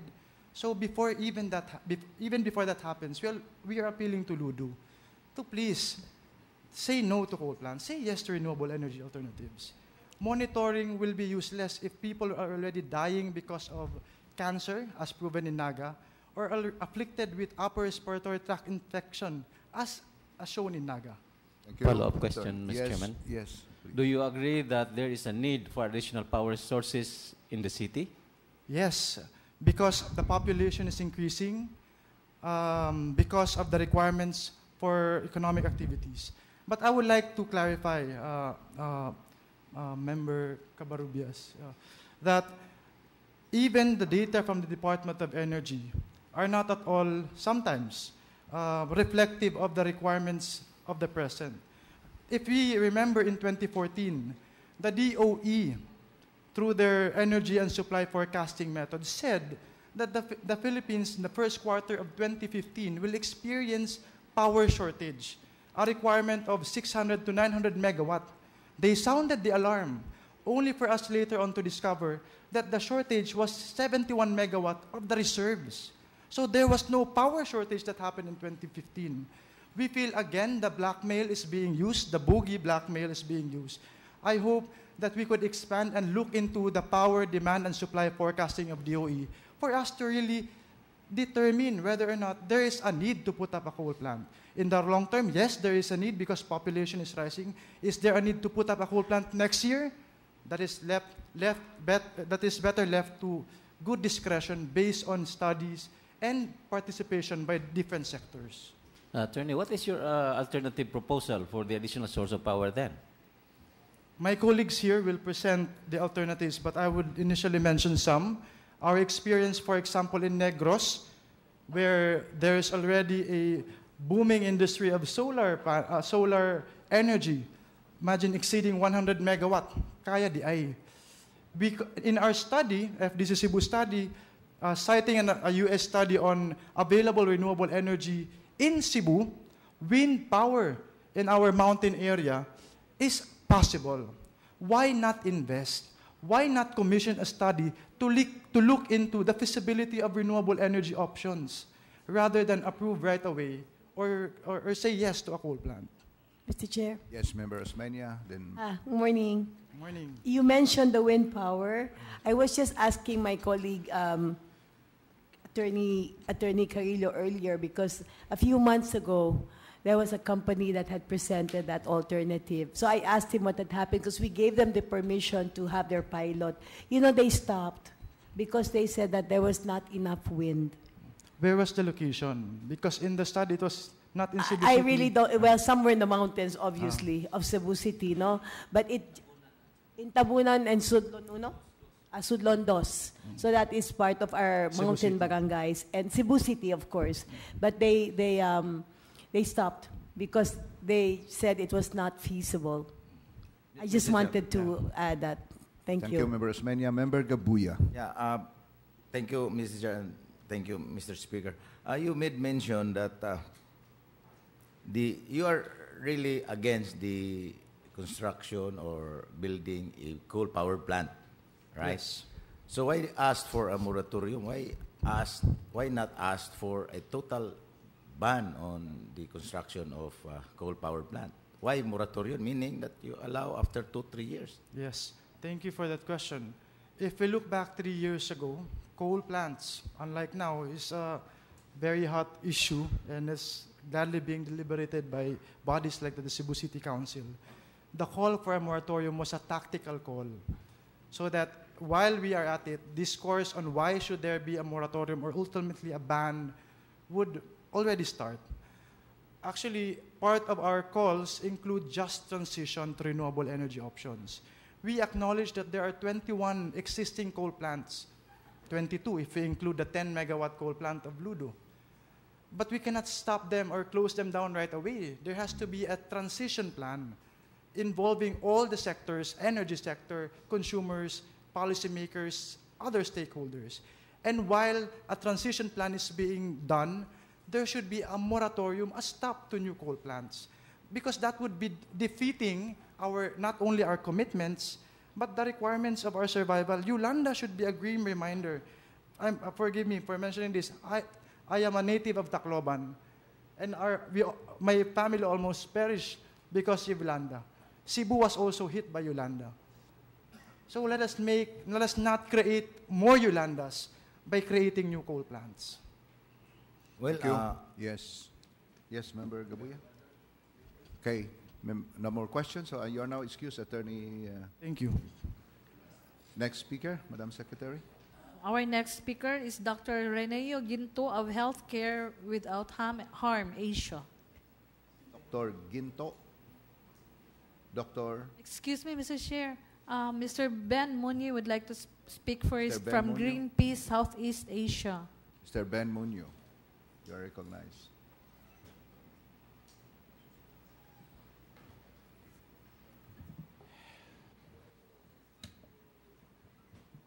Good morning, Mr. Chair. Uh, good morning, honorable members of the Cebu City Council.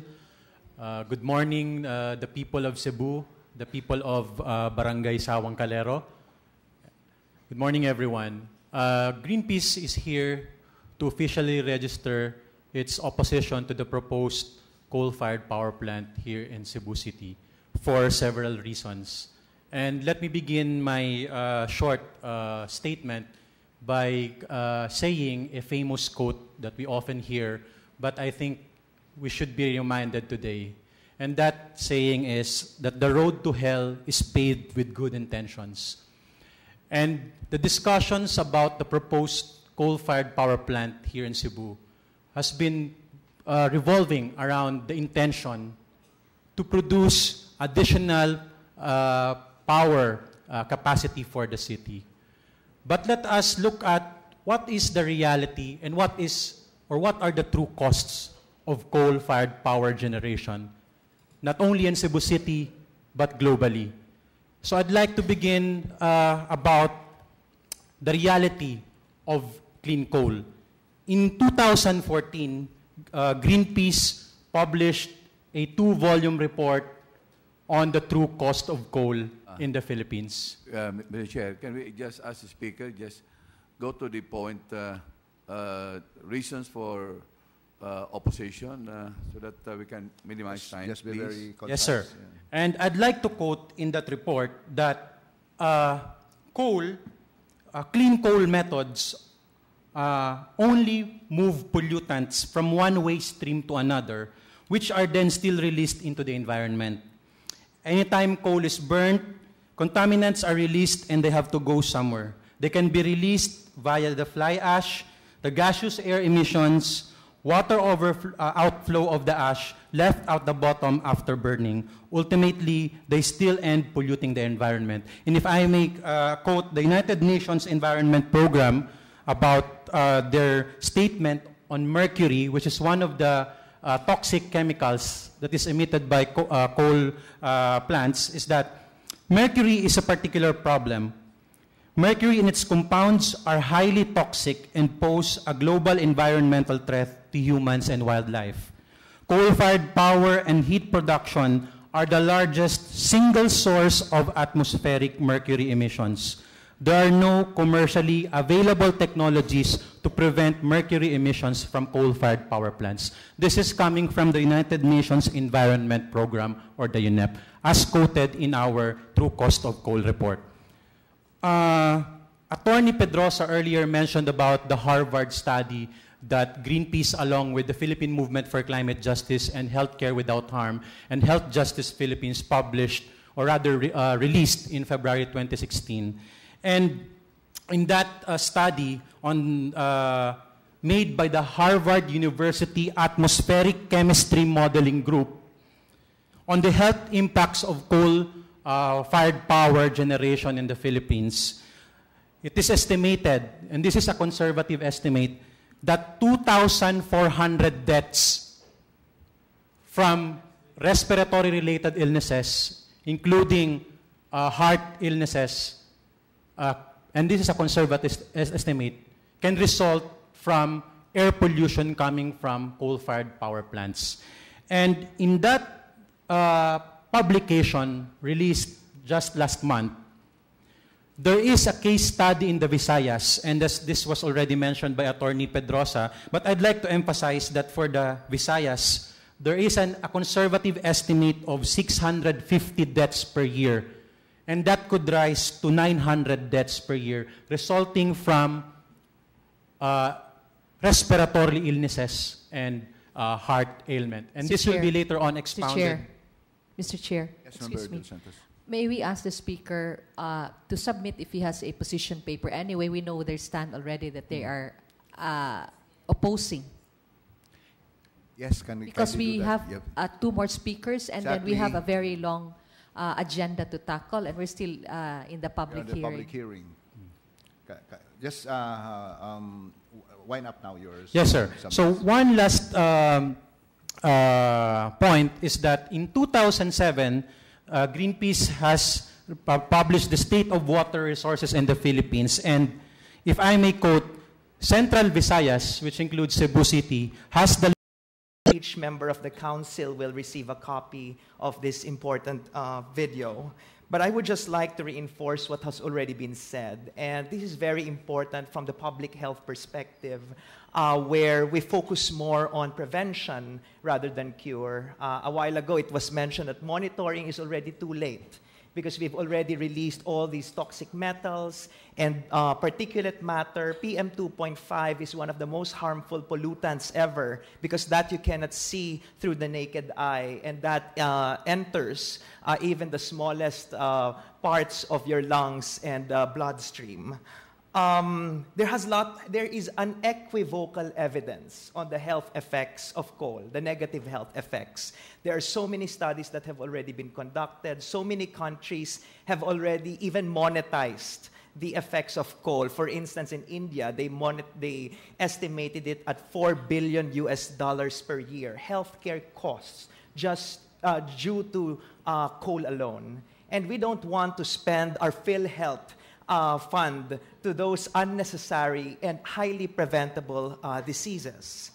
Uh, and of course, coal does not just uh, affect uh, communities directly through immediate uh, air and water pollution, but also through the climate change pathway. And for instance, one report said that climate change is the biggest global health threat of the 21st century. And that's why we health professionals are very much concerned with the energy choices that we make, which eventually affect uh, the global climate. So I will just wrap up by saying that yes, the Philippines is a negligible emitter as compared to other countries. But the health benefits give us an extra reason why we should mitigate climate change, why we should cut our addiction to coal and transition to healthy renewable energy. In accordance to what our honorable member of the council has referred to, uh, our COP21 commitments last December. I'm really glad to hear that some members of the council were in Paris. We were in Paris also, really making sure that health is uh, being protected in the climate agreement. And finally, I just want to update everyone that uh, the global health community has already made a consensus calling for a phase out of coal you know, within the next 20 to 30 years. I just wish to update our City Health Office that there is already an unequivocal stand regarding coal in the public health community. The Philippine Medical Association also signed uh, international statements regarding this. And I hope that Cebu City will be remembered not as a city that uh, failed to, to uh, meet the commitments made in Paris, rather, a city that is a shining example of protecting both the health of people and planet. So, thank you very much for this opportunity. Thank you, Doctor. So, if there are no questions, we can now excuse the doctor. You are now excused, Doctor. Next speaker, Madam Our Secretary. last speaker is Last Mr. Dan Gies of Seed for Com- Com- Community Committee. Maayong buntag sa tanan. Um, let me just also quote uh, what had uh, the Laudato Si of Saint Fran- of Pope Francis, um, telling us about uh, the urgency, no, to venture into alternative source, not just putting our emphasis to coal plant. And also, I would, being a Cebuano, I would like to position Cebu after the historic COP21. And we are an island. And even the small island that were vulnerable are already coming up with a position to lessen the 2%, 2% no, carbon emission. They want a 1.5, but they had uh, um, agreed at least, no? win some, we lose some. So the idea is uh, Cebu should be, as I said, an example to, to, to stop coal and venture into clean, renewable solutions. And we, the climate reality leaders that was trained uh, with Al Gore, uh, recently there are already around 500 climate reality leaders in the Philippines. And we have agreed and, and had a petition online right now to whoever the next president be to cancel the approved 25 coal plants. And if Cebu will say no to coal plants, then we are hoping to have domino effect of the 24 more that is, that is already approved, but we want it to stop. So our position here as a Cebuano, remember that it would not be an excuse not to say, oh, 1% ra or less lang contribution nato sa carbon emission, it's still poisonous. If i- whatever percent you put in the water and drink it, you will still die. So it's never an excuse that Philippines is less carbon emitters. So we should show our leadership. The world is watching, the Philippines is watching, and we count on Cebu. And we hope on April 22, on Earth Day, there is an international signing of the agreement on COP21, and we encourage Cebu City and its legislators to be part of that historic uh, implementation. Thank you very much. Thank you very much. No more question. Other questions? There being none, you are now excused, uh, sir. So, uh, do we have some more speakers? More speakers, Madam Secretary? No more, Mr. Chair. Okay, what's the pleasure of the body? Move to terminate. There's a motion to terminate the public Second. hearing, seconded by Member De Los Santos. Discussion, objection. There being none, the motion is carried. Mr. Chairman, can we have uh, one minute recess, Mr. Chairman? One minute recess. Are there no Mr. Chair, corollary motions? corollary motion, yeah. We'd Before like the to- recess, yes. Can we I would like to ask the, uh, Speakers. the speakers to submit their position, There's a motion of. Member Cabrera for all the speakers to submit the respective position papers. Seconded Member Hapson. Discussion, objection, there being none, motion is carried. Recess.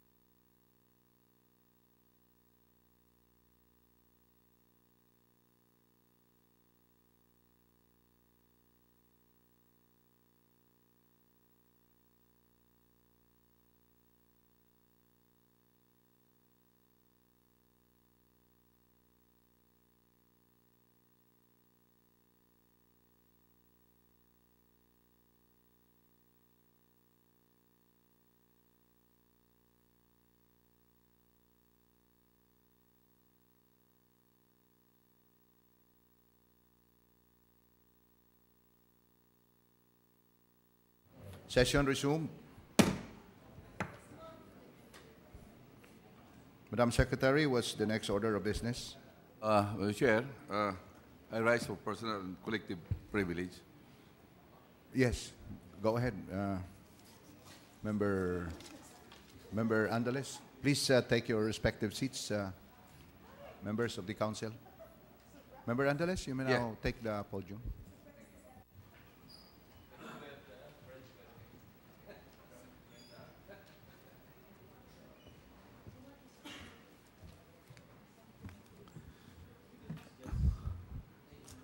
Thank you, Mr. Chair. Uh, I rise on personal and collective privilege.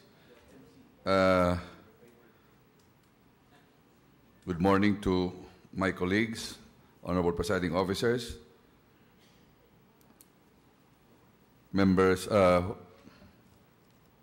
of the media, guests. Good uh, good morning. Okay.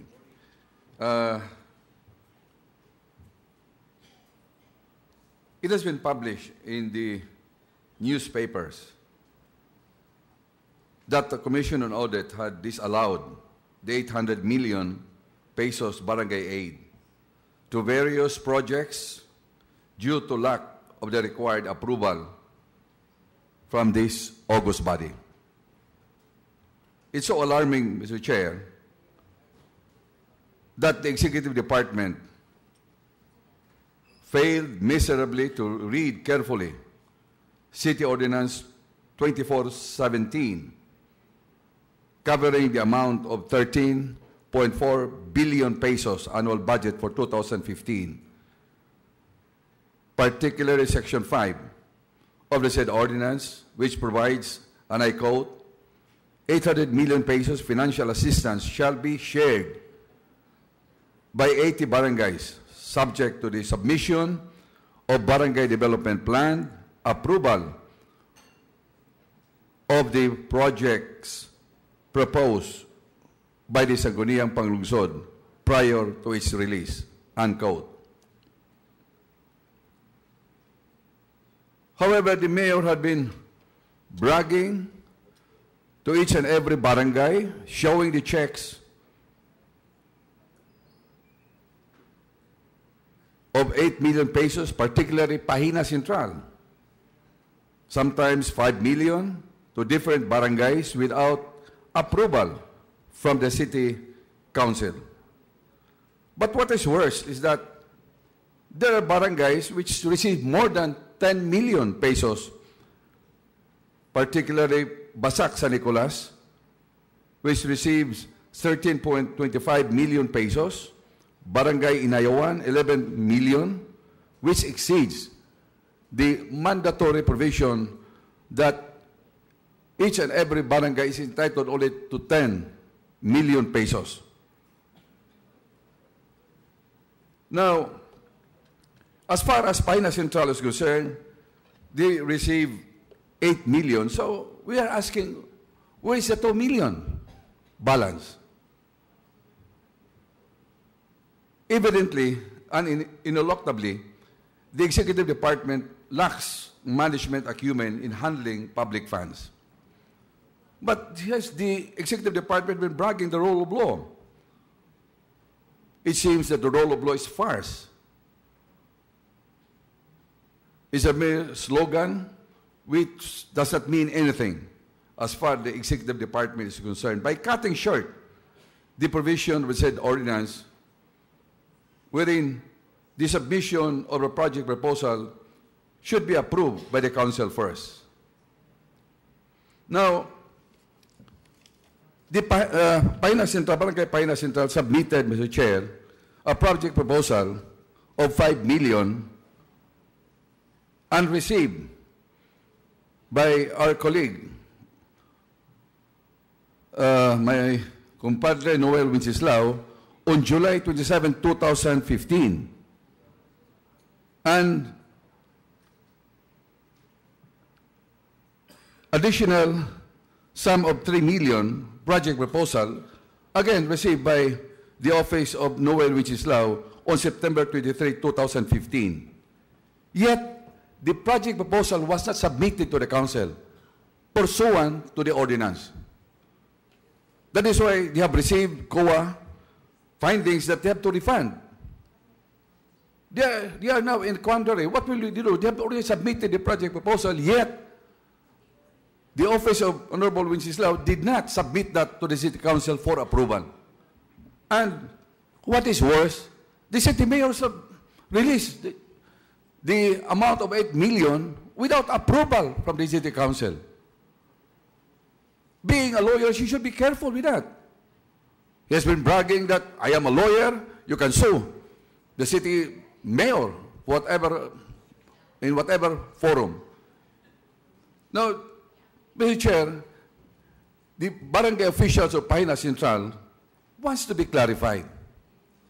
Because they're already alive. They have already made the project proposal. They have already bought a garbage truck, patrol car.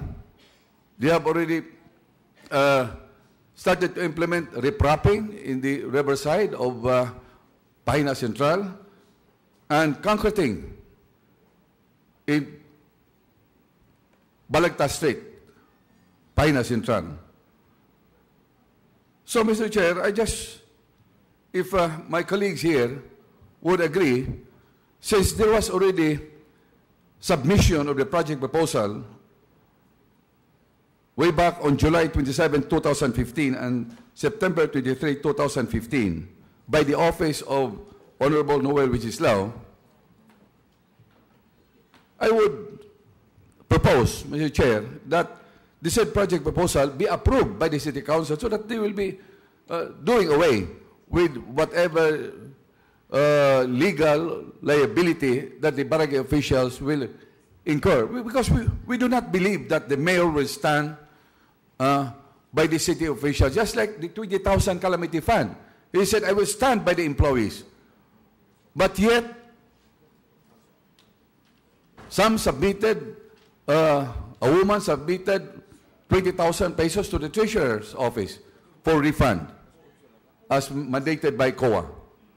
And every time the employee goes outside the Philippines, to have an, an undertaking that they have to pay the 20,000 pesos. So, the barangay officials are really af- afraid, Mr. Chair. So I would propose, since there was already a timely uh, submission of the project proposal by the office of the uh, Honorable Noel Wenceslao, that we have to approve the same so that they can be uh, escape from any liability, uh, personal liability of refund, having to refund the, the said amount. So I move, Mr. Chair, that uh, this uh, privilege speech be noted and move that the City Council should now approve uh, the project proposal because it was made timely, Mr. Chair. I have a copy of this uh, uh, project uh, proposal form and barangay resolution of Pahina Central. And the check also, that was received by uh, barangay Pahina Central because uh, we don't want that uh, they will be uh, caught in the quandary because if every time they have to uh, go around, perhaps they have to make uh, undertaking, affidavit of undertaking to pay the 80 million. So that is worse. That is also the, the uh, trouble with some of the barangay officials now. I don't believe that the mayor can stand uh, by them to, you know, because they have already filed a motion for reconsideration. I do not believe that the COA will uh, approve the motion for reconsideration. Just like the 20,000 calamity fund, they have been, uh, the city legal office have made a motion for recon, but until now, they have not uh, revoked, they have not changed their stand that uh, the allowance, the disallowance is still valid and existing. That is now the motion of Member Andales. I move that the is, uh, personal privilege speech be noted, and I move that the City Council will approve the project proposal of uh, Barangay Pahina Central. There's So a motion, there's a motion of Member Andales to approve the project proposal of Barangay Pahina Central. Seconded by Member Osmeña. Discussion. The- Mr. Chair. Discussion, Mr. Chair. Member Mr. Chair. Carillo, Member Arcilia, Member Gabuya, Member Wenceslao. In that yes, order. uh, Mr. Chair. Um, I suggest to Member Angeles to take the cudgel of the 80 barangay instead, uh, instead of uh, just Pahina Central, which I assume uh, kay uh, iyahaman ng barangay, he might as well bring the uh, all barangays to have it uh, uh, approved by the Sangguniang. Um, if there is one or they have submitted, Mr. Chair, so Mr. Chair. we can approve. Second, Mr. Chair, um, there is this uh, administrative process. Um, adverse opinion is one. Meaning to say, uh, the co- Commission on Audit probably have uh, made a disallowance or adverse opinion, but uh, the adverse opinion, um, there is still a conference to be conducted so that the adverse opinion can be reversed. And there is a process, Mr. Chair. Even if, if, there if is I a may correct, disallow- I think if I may correct, it's not uh, adverse opinion, but audit Disallow. observation. Audit observation. Audit observation. There must first an audit observation. I don't know if uh, what uh, we are reading is an audit observation.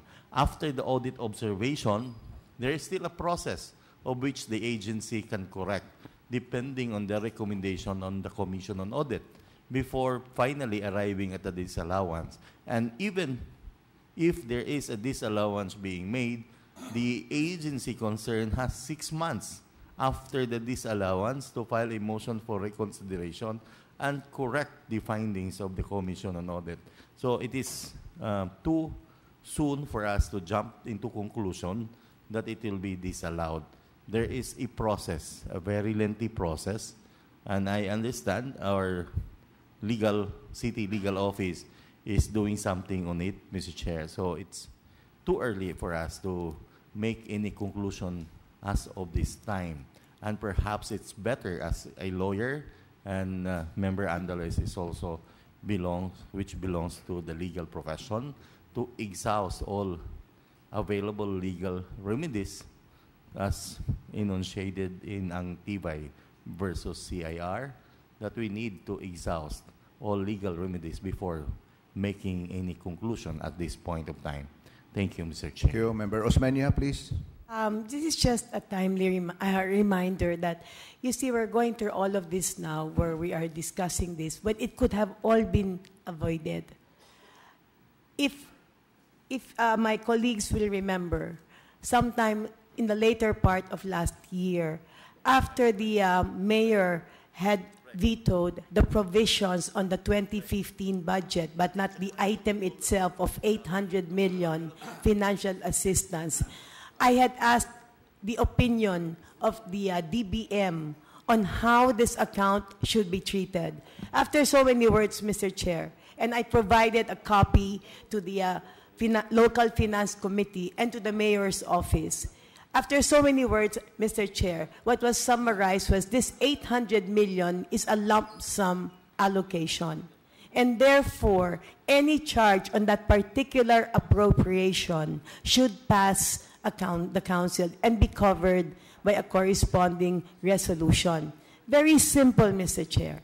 But it was not followed. It was treated like uh, PDAF. It was treated like at the discretion of the mayor, who then um, formulated his own budgetary executive guidelines, which again I had submitted to the DBM to ask if that would be sufficient, sufficient uh, to for us to follow. And again, they replied that this is a lump sum allocation and therefore it needs council approval for any item to be charged against that appropriation. These were two legal opinions provided by the DBM, which was formally submitted to us in response also to my official uh, request to them. And again, it was I provided copies to the uh, respective of officers who I felt we should know about this. But still, it was not followed. So now we're caught in this spot. The barangays have no, to me, have no, um, in my own opinion, Mr. Chair, really, uh, we're just recipients. Of course, they will receive. It was the manner of giving it to them that is not, did not follow the uh, regulations, Mr. Chair. So Chair. it, would, it could have been very easily avoided because we were the ones who approved the 800 million, the council. In fact, um, just we, what was proposed by the executive office was only 640 million. And we as a council increased it to 800 million to be divided equally among the 80 barangays who could themselves appropriately identify what they needed because one barangay will have different needs from the other barangay. It was to give them the respect that they should know best what is to be done with the funds. So therefore, we had asked for a proposal to be given to us, and that's it. but then it was not followed. So now we're caught in this when the barangays don't know what to do because they have already used some of their funds, and then the uh, city attorney says, but there's nothing wrong with it because they did not use it for infrastructure. They have. They have used it for infrastructure. So he says that it does not apply, the Quisumbing Garcia, whatever, that was, that was uh, used as a reference. But Mr. Chair, they have used it for infrastructure. And I, we, all of us, we, uh, can see now what will happen to those who received and have used partially. What do they do now? Better pa those who did never received, like Guadalupe, like Lahug. They don't have anything to return because they never got anything. So maybe it was better for them that they never got anything. But these other barangays, what do they do now? Mr. Chair. Mr. Chair, Mr. Chair, No, le- let's hear first from Member Arcilla because I Member just want to, was Mr. first. Chair, I just want I to give- answer. I give way to them, Mr. Mr. Chairman. Okay, yes. I just want to answer Member uh, the uh, uh, suggestion of Honorable Carrillo. First, I cannot be representing the 80 barangays. Why? Because I don't have the documents. What I have now is the documents as far as Pahina Central is concerned. And uh, here, there is a stamp received by the office of uh, Honorable Wenceslao, January, uh, July 27, 2015, of 5 million, then September 23, 2015, of 3 million. But I was just wondering why it was not endorsed to the City Council for approval. And why, why is it that uh, uh, Honorable uh, Wenceslao, No- Noel Wenceslao, should be the one to receive the same? Is there an authority by the City Council? I mean, this was not endorsed to us properly. Thirdly, if there is a defect there as far as uh, COA observation is concerned, that is procedural. What is substantive uh, uh, issue is that there was no approval by the City Council. That's pure and simple. Whether it, there is a defect as far as procedure is concerned, that is not material. What is material is the finding of COA that the executive department merely released the amount of uh, 8 million, 10 million to some barangays, and some barangays exceeded the amount of 10 million, like uh, Barangay Basak San Nicolas and Inayawan. That is not provided for in the ordinance itself.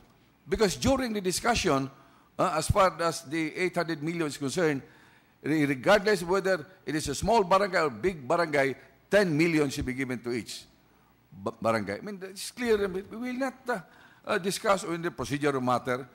How many times did uh, the, the city legal office made uh, uh, filed a motion for reconsideration? Until now, the the COA never reversed itself.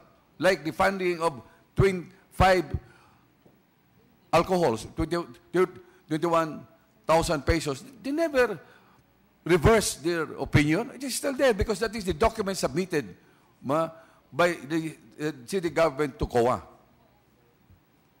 Thank you, Member Andales. Mr. Chairman. Now, let, let's hear from Member Gabuya Jr. I acknowledge, recognize him first, then Member Wenceslao. Thank you, uh, Mr. Chair. Uh, I would like to agree on the statement of Member Margot Osmeña. Chairman, that this could have been avoided if the executive had uh, followed the simple procedure, Mr. Chair. And second, Mr. Chair, the DBM said that the amount given to the different barangays should be returned to the city's coffer, Mr. Chairman. Now, I find it uh, counter, it runs counter on the, the, on the order of the DBM. Because if we're going to approve the program of work and estimate, and the DBM said you have to return, so what is that? Mura bag aton lang gi gikuan Mr. Chair ba? Atong gi what not what na mutuman sa order sa DBM. When in fact we passed the resolution to follow what the DBM said on on their on their findings, Mr. Chair. And third, Mr. Chair, if they presented to this August body, we could ha- this council could have asked why only 8 million? Why not 10? So how can we approve a, a proposal from Barangay Pahina Central when it is not 10 million? Supposedly, Mr. Chair. Thank you, Member It should Gabuyo. be 10 million, Mr. Chair. Thank you for that observation, for that comment. Member Yes. Wenceslao. Na, Thank you. let's hear Thank- from Member Wenceslao, then let's go. Thank you, Member- thank you, Mr. Chairman. Yeah, um, it is true, Mr. Chair, uh, the privileged speech of uh, Member Andales, that my office received the proposal of the financial assistance proposal of Barangay Pahina Central and some other barangays. And uh, it is true also that uh, it was not endorsed to the City Council for approval for the reason that I based my uh, observation on the legal opinion of the city legal that there is no need that it will be uh, endorsed to the to the city council. That's why uh, when when I received the endorsement, I immediately um, uh, forwarded it to the executive department for processing, Mr. Chairman. Thank you, Member Wenceslao. Uh, Member Andales. My, my, my concern is only Pahina Central because they, they received the amount in good faith, without malice. They spent the same in good faith and without malice. So I want to protect the uh, officials, barangay officials of Pahina Central, since the project proposal was done timely. It was uh, received by the Office of Honorable Wenceslao, July 27, 2015, September 23, 2015. I mean, uh, they should not be faulted uh, uh, if the, there was approval because they think that upon receipt, that would be endorsed because that is provided for in the annual budget for 2015. It's very clear here. Uh, we passed this ordinance. Why is it that we have to escape in our mind not to endorse this City Council? It says here, uh, subject to the submission of barangay development plan and approval of the project's uh, proposals by Sangguniang Panlungsod prior to the release. I mean, being a, a legislative body, a member of the, this August body, we know our duties and responsibilities. We could have submitted that, endorsed that to City Council, not to the office of the mayor. M- Mr. Unless, Chair. of course, uh, uh, the, the mayor received the same and did not endorse. That's the worst thing uh, that uh, the executive department had done. M- Mr. Chair. Yes, Member May I know how much amount uh, member uh, Andales is referring? 8 million. That is 8 why, million Mr. only. Chair. Why only 8 million? If we are going to approve the, the project proposal, it means that we agree on the 8 million and we agree for the 13 million to other barangays. So, Mr. Chair, the amount should be settled. Why only 8? Before we approve the, uh, the, the uh, project proposal, Mr. Chair. Ano, uh, 13 million point 25 uh, for ba- Barangay Basak San Nicolas and 11 million for Inayawan. That's That's right, what Mr. I mean. I mean, are we? Uh, Because uh, if we are going to approve the 8 million proposed by Sangguniang, uh, the Pahina Central, then we need to understand that we concur the amount given to Pahina San Nicolas, San No, no. Central.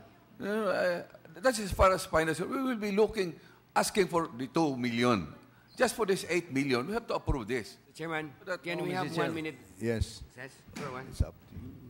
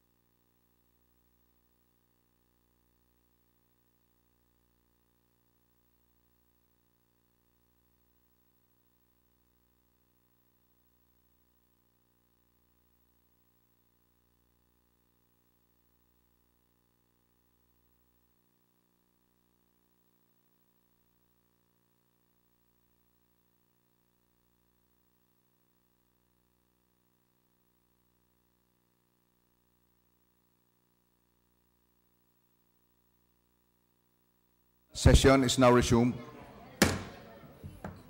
Yes, we are now on the discussion portion of the proposal or the motion of Member Andales. So What is now the pleasure of the body so that we can resolve this particular motion of Member Mi- Andales? Mr. Chair, Yes. there are two actually. Uh, Yeah, on the motion to note, resolution. Move, let's move to first, note yeah, first, this- yeah. the motion to note, seconded by Member Japson. Discussion, objection, there being none, the motion is carried. Now let's treat now on that motion of Member Andales. What is the pleasure of the body? Member Andales wants that to be approved. There are some observations, there are some comments, and I understand that there could also be some manifestations in, a, in relation to Member Andales's. Uh, are there, so discussion, objection, are there objections? You are now on the discussion. Any more discussion? Mr. Chair, may we ask uh, Member Andales to reiterate his motion, Yes, Member please? Andales, please, for the Yes, uh, benefit- the, yeah. the second uh, resolving clause is that uh, uh, to approve the project proposal made by uh, Barangay Pahina Central, which was uh, timely, uh, seasonably submitted. Already, I think, who seconded? Well, Japson, I think, Member Japson. Then we are now on the discussion portion, Member De Los M- m- Santos. Mr. Chairman, Discussion, Mr. di- Chair. discussion. Yes, discussion, who is, yes, Member Yeah. Cabrera. Yeah, Cabrera. Mr. Chair, I have no objections with the project proposal, Mr. Chair. But based on the ordinance we had passed, we specify that it should be endorsed by the Barangay Development Council. And I think this is only a proposal, Mr. Uh, project proposal coming from the barangay uh, official, Mr. Chair. So we need to uh, we need to have the BDP, the Barangay Development Plan, uh, if that proposal is within, uh, included in a Barangay Development Plan, Mr. Chair. So I, ha- I have uh, my objection on this, Mr. Chair. In other words, you're objecting to that motion. Any more? Yes, Member. Very thankful for you in giving Barangay Talamban a 10 million pesos, no? Since you, as, you assume office an, as an acting mayor. My, my query, Mr. Chairman, uh, uh, why, why the city treasurer and you, Mr. Chairman, as acting mayor, release a check to Barangay Talamban uh, considering the, the requisite of document? So, you mean to say that when you release the check to Barangay Talamban, Mr. Chairman, does it mean that uh, all documents has been, uh, what you call that, completo ba? Totally complete? Yes. Complied? uh, I, I handed it over being the acting mayor, and uh, the, unless, of course, I felt that uh, I should deprive Barangay Talamban of the check. So, on the assumption that everything was in order, because when you are the acting mayor, you are supposed to know, you are supposed to deliver something that has undergone uh, the process, and uh, if we really have to look into the nitty-gritty of each and every transaction that would come into my table, I don't think uh, I could do anything to receive the check because, uh, in fact, it was 10, was it 10 million? Ye- yes, Mr. Man. That's why I'm, I'm asking this, Mr. Chairman, because now I've heard from some barangay officials that the barangay officials now, there's a meeting called by the mayor, and then the mayor uh, is blaming also the council now because of the, the, the findings of the DBM. So it, it was used al- again by the COA, Mr. Chairman. Yes, Mr. Chair. Yes, Member Osmeña. In addition, yes, um, I think I also feel very personally about that because, you know, we, we cannot avoid the fact that this is campaign season. It's a political season. And um, it has been told to us many times, especially, I'm, I'm now called Miss Babag. I think you all know that, no? And uh, I don't know if I should proudly wear that title. But uh, that is one of the things that is being thrown at us now is that we are the ones pa who are responsible for the uh, COAs declaring billion pesos. Should they, should should the uh, if only the executive office had followed a very simple procedure. Very simple procedure. Now, not only will they have to answer, but it will also prevent them from, ab- from receiving future assistance Di ba? Cash assistance. Unless this is all, unless this is all cleared. Mr. Chair. Mr. Chair. Thank you, uh, Member just- Osmeña. Make it of record. All the observations, Madam Secretary, make them place on record. Uh, in, in answer Noted, to Mr. Chair. Honorable uh, Cabrera's uh, uh,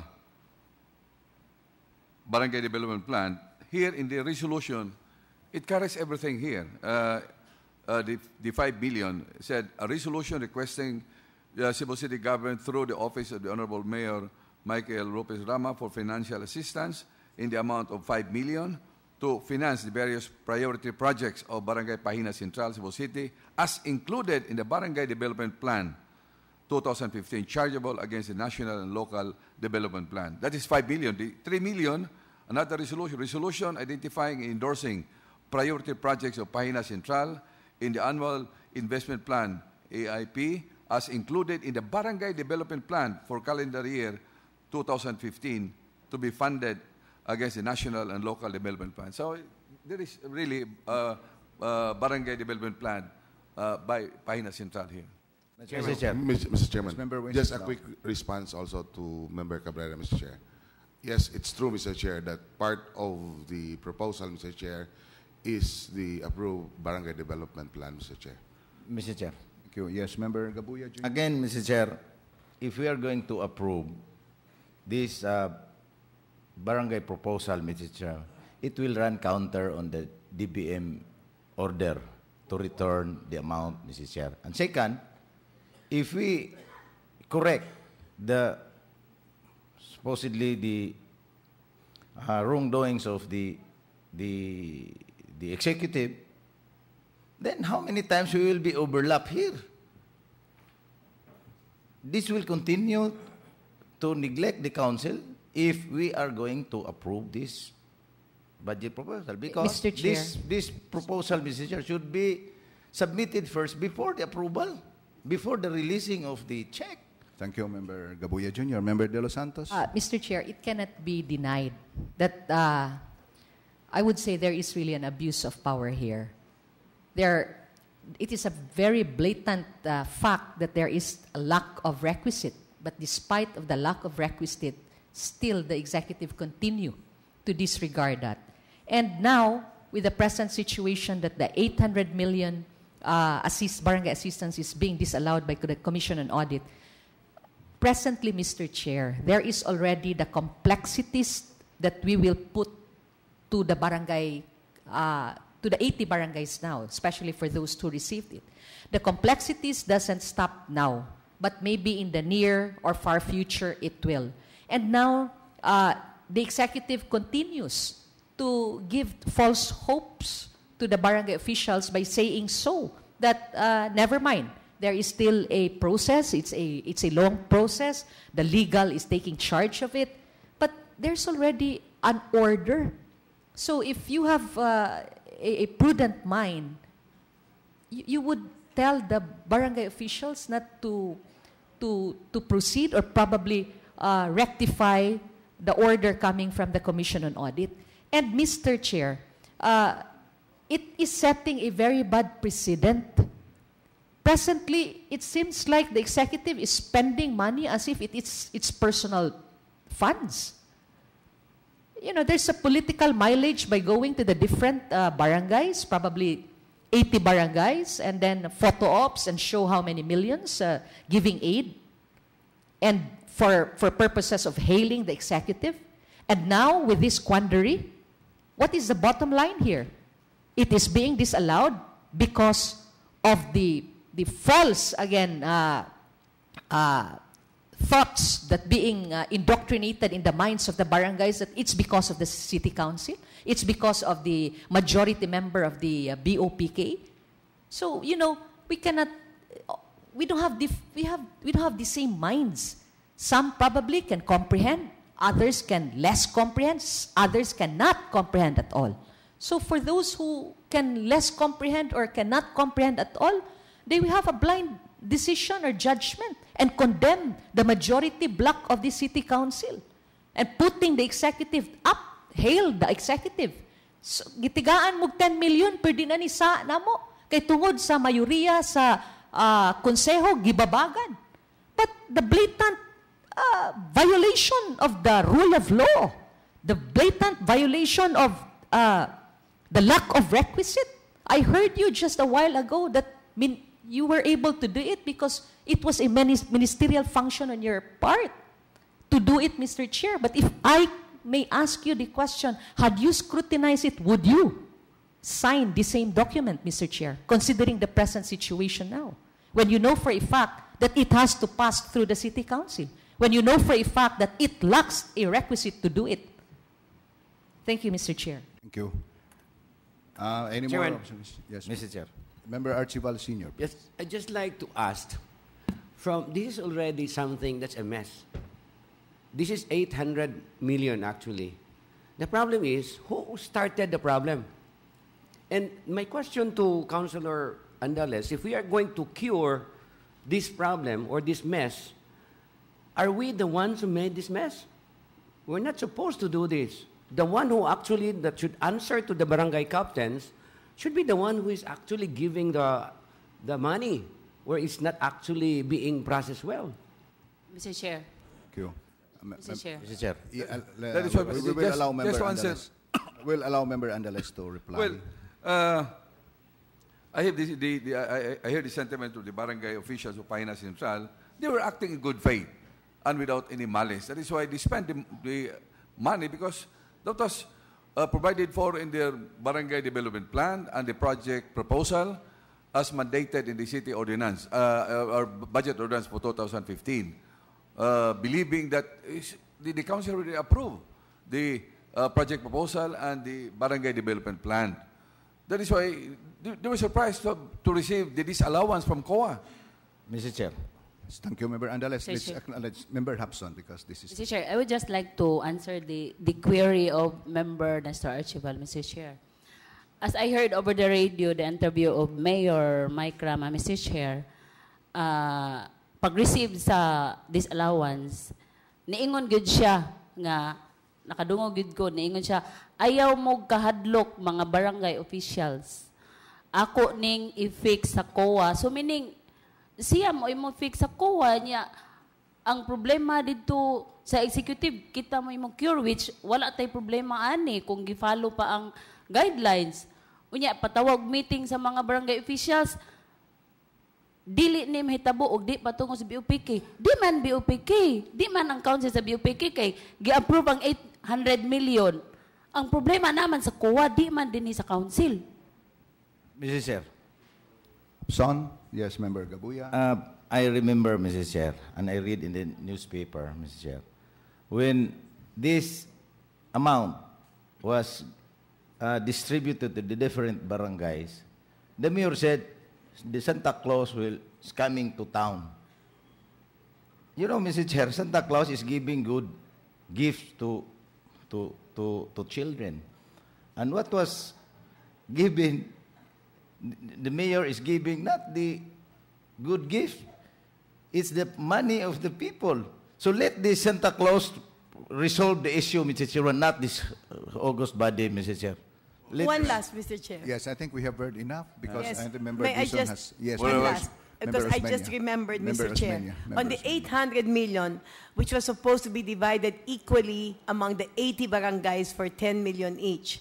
The executive budgetary guidelines as issued by the mayor, because he himself there listed on how it should be divided. The 680 million would be divided among the barangays. He had a, he had a whole list. The other 120 million, he, he said that it would go to the ABC with different projects. See? To the ABC. And then in the ABC, there were again different projects that they could, one of which was for the rice, of which we can see is flooding the city now. We all know that rice is flooding the city right now. At least two, two uh, kilos per recipient or per beneficiary. This is where the money went. And that is certainly not within what we had approved in the budget ordinance, Mr. I just wanted to make that comment, Mr. Thank you, Chair. Thank you. Last. Mr. Chair. Last, Yes. Mr. Chair. Yes, last. How Last, many lasts? Okay, Member Japson, then let's go to the proponent, Mr. Member Chair, Yeah. uh, we heard enough, Mr. Chair. Bottom line, Mr. Chair, if the executive, if the mayor gi-follow ug unsay gi-approve sa council, wa ni problema. And then ug na nay problema dito, ari ihapag sa council. So, unsa may atong buhaton ani? Magsige taglalis dinhi. Okay, Member Hapson, then let's go now to the Yeah. proponent. The last Ah, na lang ni... mu- Mura ni duwa sa hatag bawi. Hatag mo, bawion sa 20,000 na to, calamity fund. Ihatag ta, bawion sa kay disallowed. Luoy kay mga empleyado. Unya si Mike yung siya di ko di ko mahatag niya. Na ilang babae nga nihatag. Siya wa unya kaduha mo mo mo ni nga 8 million hatag ta unya bawion sad. Malo, ma, ma, lagi ba? Okay, so what- sa- how, do, as how would we now resolve this issue? Should we I go would on? Yes, uh, ab- everything uh, I think there is a pending uh, motion that has to be resolved. want to withdraw. Yes. My, uh, okay, there's a motion to withdraw. Since it has become a property of the council, it has been seconded. So there is a need for a second to have it withdrawn. Motion Second. to withdraw by Member Andales, Second. seconded by Member Japson. Discussion, objection. There being none, the motion is withdrawn. Recess, Mr. Chair, break, lunch break, Mr. Uh, Chair. let's hear from Member Dizon before. Yeah, yes. Mr. Chairman, uh, Yes. I agree uh, with the motion of Member um, Japson that we will have a recess. And uh, before going to, uh, to take our lunch, may I uh, respectfully request the members of the City Council to uh, watch uh, the cultural exchange between Kortrijk, Belgium, and the Cebu City government through the performance of the string orchestra and Sinfonia Academy with Professor David Ann from the city of Kortrijk, uh, one of our sister cities in Europe. So I'm inviting the members of the City Council right now to proceed to the social hall just for a 10-minute program. Thank you, before Member taking Dizon. our lunch. You. Recess and Before please, taking our lunch. please, please They are now ready. the- They are now Okay. ready, Please uh, proceed to to, the social hall. Thank you.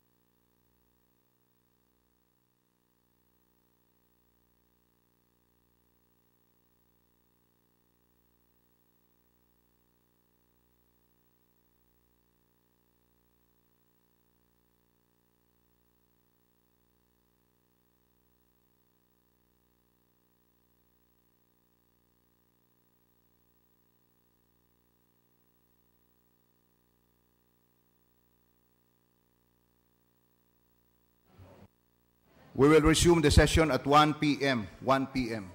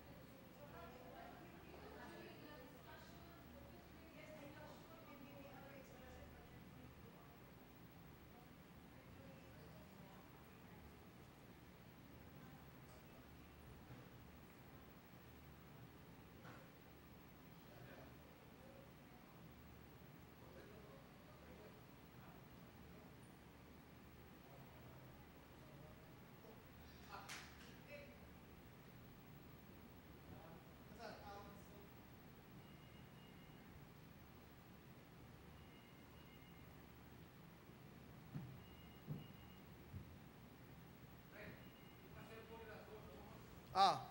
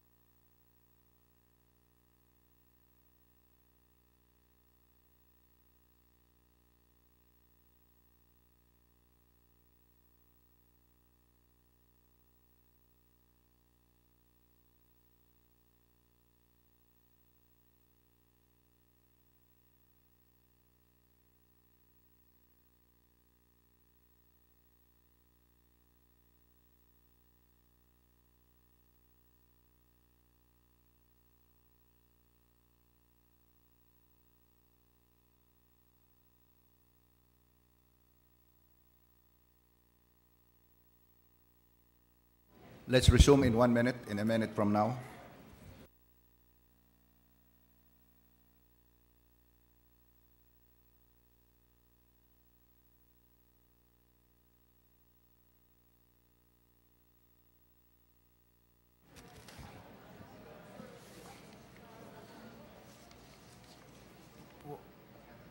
Maka, Mr. Chair, maka kolorari pata sa katong, Mr. Chair, maka kolorari pata atong, ano pa man tanong? Ano, di, di public hearing. No more?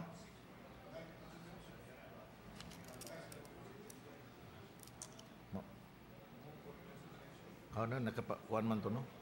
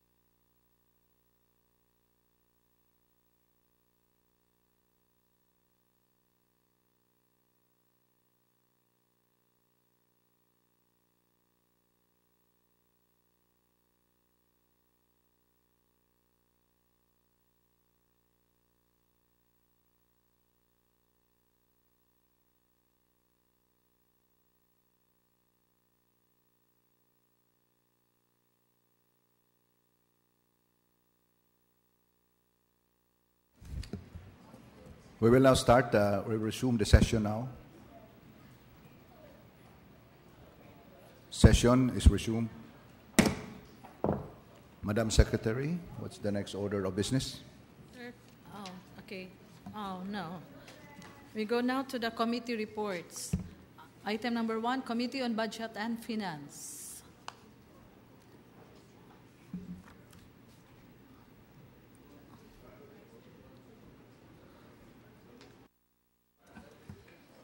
Yes, Mr. Chair, I have three committee reports. Go ahead, Member Osmeña. Short. First one, respectfully referred to the Committee on Budget and Finance for comments and recommendation, the herein proposed resolution of Member David F. Tumulak, charging, charging against the city-sponsored activities account for the expenses for the staging of the Buhing Calvario 2016 in the amount of 595,700. Uh, just, just uh, the committee interposes no objection to the proposed resolution of Member Tumulak and recommends the following to approve this report to authorize the acting secretary of the SP to furnish a copy of this report to the proponent of this resolution and the office of the mayor. I move for the approval, Mr. Chair. There's a motion for approval, Member Osmeña, seconded by Member Andales. Discussion, objection? Yes, Mr. Chair. Discussion.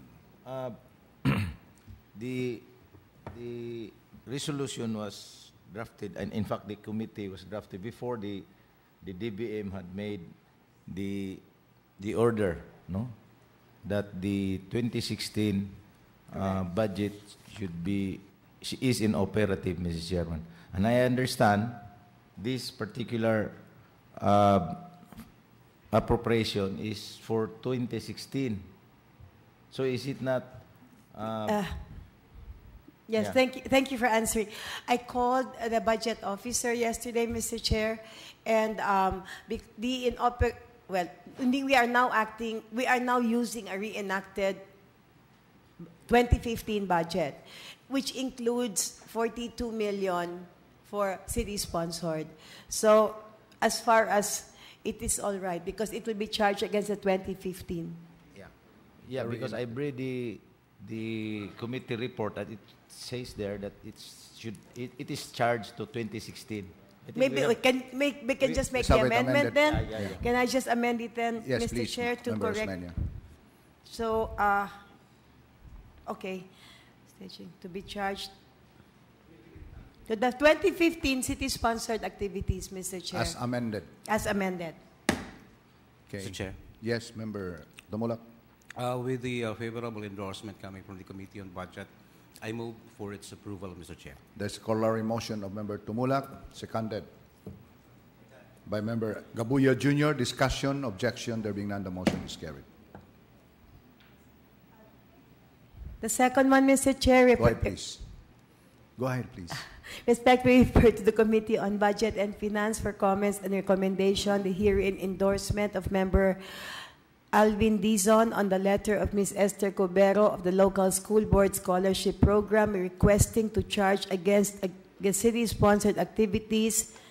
I will just again amend this now, 2015 with account number 1011-200-969-023 the following 299,300 to defray the expenses for the awarding ceremony of the Cebu City Scholars Honor graduates and B 500,000 to defray the expenses for the Don Sergio Osmeña Academic Excellence awarding ceremony. The committee observed that there is no certification from the city treasurer that funds are available for the activities. The committee therefore requests that the office of the city treasurer to certify the availab- availability of funds for these events. Recommendations to approve this report to request the office of the city treasurer to issue a CAF for the said activities if funds are indeed available and to authorize the acting secretary of the SP to furnish a copy of this to member Alvin Dizon and the office of the city treasurer. There's a I motion move of for the Member approval, Osmeña, seconded by Member Arcilla. Discussion, objection, there being none, the motion is carried. Uh, On the third and the last, Mr. Chair, please. respectfully refer to Committee on Budget and Finance for the comments and recommendation. The herein endorsement of Engineer Oscar Abordo, Secretary of the Cebu City Development Council, submitting the CCD's Resolution Number 07-0304-2016, approving for the change of project location of the proposed road concreting from Sitio Tagaytay to Sitio Bayabas to Sitio proper to Sitio Intusan, Barangay Adlaon in the amount of 6,655,920.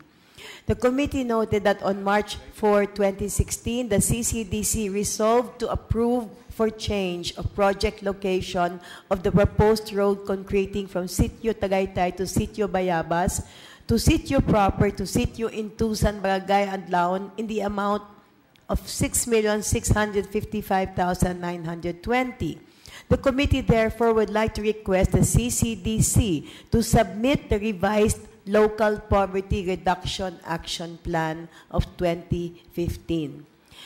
Uh, recommendations to approve this report to request the CCDC to submit the revised L- LPRAP 2015 and finally to authorize the acting secretary of the SP to furnish a copy of this to the Cebu City Development Council. I move for the approval, Mr. Chair. There's a motion of Member Osmeña, seconded by Member Arcilla. Discussion, objection, there being none, the motion is carried. Next committee report from the Committee on Laws. Member Andales, please. Uh, Thank you, Mr. Chair. Uh, Refer to Committee on Laws, Ordinances, and Public Accountability and Good Government for comments and recommendation therein proposed resolution of Member Gerardo A. Carillo and Member Nendell Hanz Abella authorizing acting city mayor uh, Edgardo Labella. Uh, it- it should be the city mayor, uh, Michael Rama now.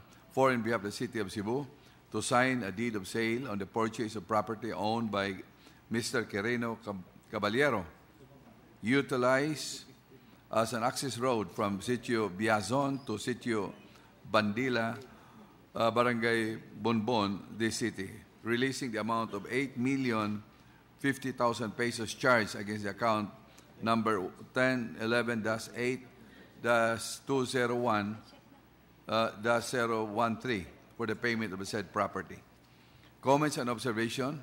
The committee perused the uh, notes the following documents which were which the committee requested per SP Resolution number 13-1951 2016 dated February 17, 2016 and uh, Quirino Caballero complied with to wit uh, the latest certified copies of original certificate of title 3234, original certificate title 23, and transfer certificate title number 6564, and a sketch plan of the road uh, traversing the aforesaid lots. Unfortunately, however, the committee needs a judicial declaration of ease. Roman uh, Caballero, pursuant to the case of Guido Timshay and et al. versus Roy S. Del Rosario et al. under GR number 4320, March 2, 2009 1999. Uh, 304 is accredit accreditation team.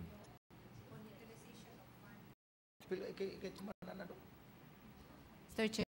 Yes, Member Cabrera. I think uh, for this, Mr. Chair, uh, there's an organization, uh, there's a board uh, who will accredit, but in terms of utilization, the description of what you can use the for is very detailed as far as uh, the, the, the giving of the grant is concerned. No, uh, in the on the other hand, in this proposed ordinance, it's a loan, so it has to be borrowed. Perhaps there should be a safeguard that the same, the farmers, let's say in this case, the farmers um, association is accredited in both by both, that they can only avail of one, that they cannot, av- huh? that they cannot avail of a loan and a grant. Mr. Chair. I- As it should be. Yes, Member Mr. Chair. Japson. Um, follow up, um, uh, Yes, yes. Mr. Um, Member Osmeña, Mr. Chair. I think uh, the the grant and the loan is different, Mr. Chair, because if you in this in this ordinance, if uh, one organization and I would like to clarify also, Member Arcilla, if this is uh, loan for an individual farmers or organization sub farmers. M- Mr. Chair, the IRR supposed to be to be submitted no after the approval of this ordinance but based on the initial discussions with us Mr. Chair the grant granting of loan is based on individual farmers as long as you are member to a certain organization niya registered ka sa CCAPSI so you can avail a loan from the Cebu City government But, uh, uh, in So- section so- 5, it says that the law the, uh, shall be made available for fund, funding without without interest and assistance to accredited associations. It doesn't say any individual farmer. Member, members of the asso- accredited associations. accredited member- association. Mr. Chair. Ac- only to accredited associations, not to individual members. Yes. M- m- m- Mr. Yes. Chair, just only clarifications. Based on the initial talks, Mr. Chairman, for example, you are member with accredited association and if you want to borrow money, so you can borrow individually, but you are represented by a certain organization as unsa na kanang murag kulit unsa na kana bang in, in case if that person will not able, able to pay Mr. Chairman the organizations will go on the one to pay for that loan I see. Because as worded But- here, it would mean that this the loan can only be availed to by accredited associations, not by individual members of the association Mr. Chair. Maybe this has to be clarified. So, uh, if Chair. I may suggest to Member Arcelia, Mr. Chair, if we can word this uh, an assistance for purposes to any members of an accredited association.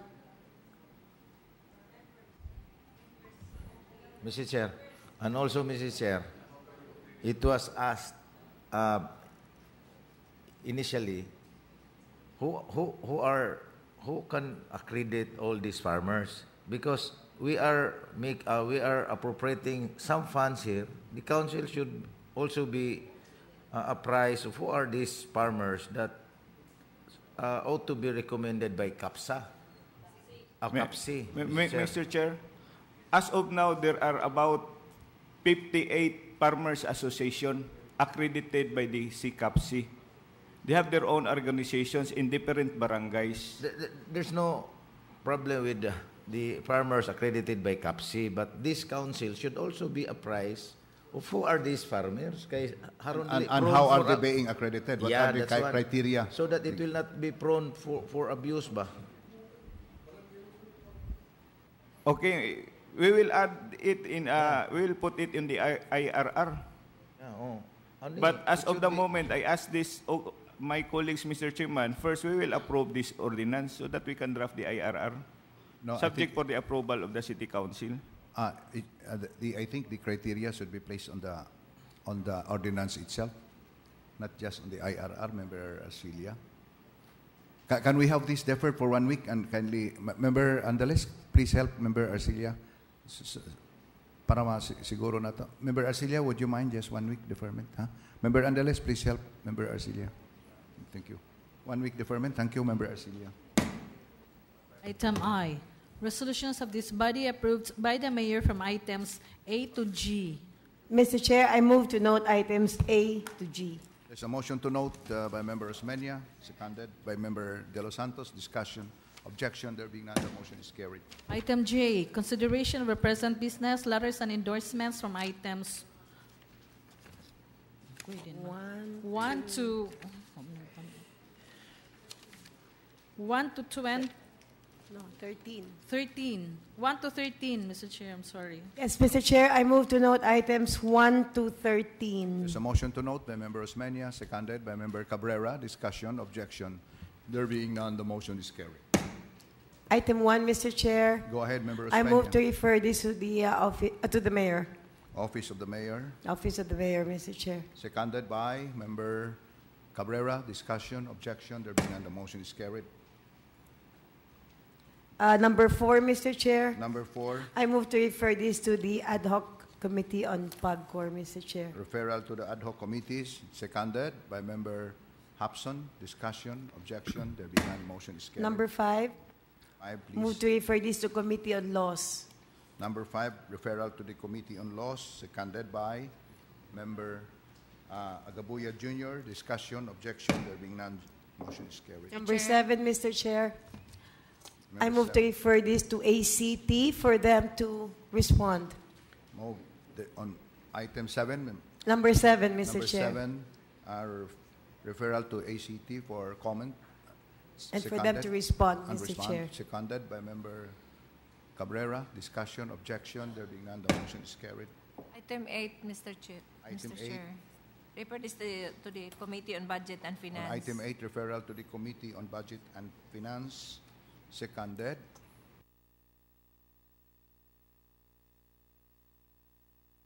Objection, there being none, the motion is carried. Item 9, Mr. Chair. Yes? Yeah, uh, joint referral to the Committee on Educations and to the Scholarship Committee. There's a joint referral as moved by Member Cabrera and to report to the City Council. and with a colatelia to submit the report to the City Council within 15 days Within from 15 receipt days, hereof. yes. Seconded by a Member Abella. Discussion, objection, there being none, the motion is carried.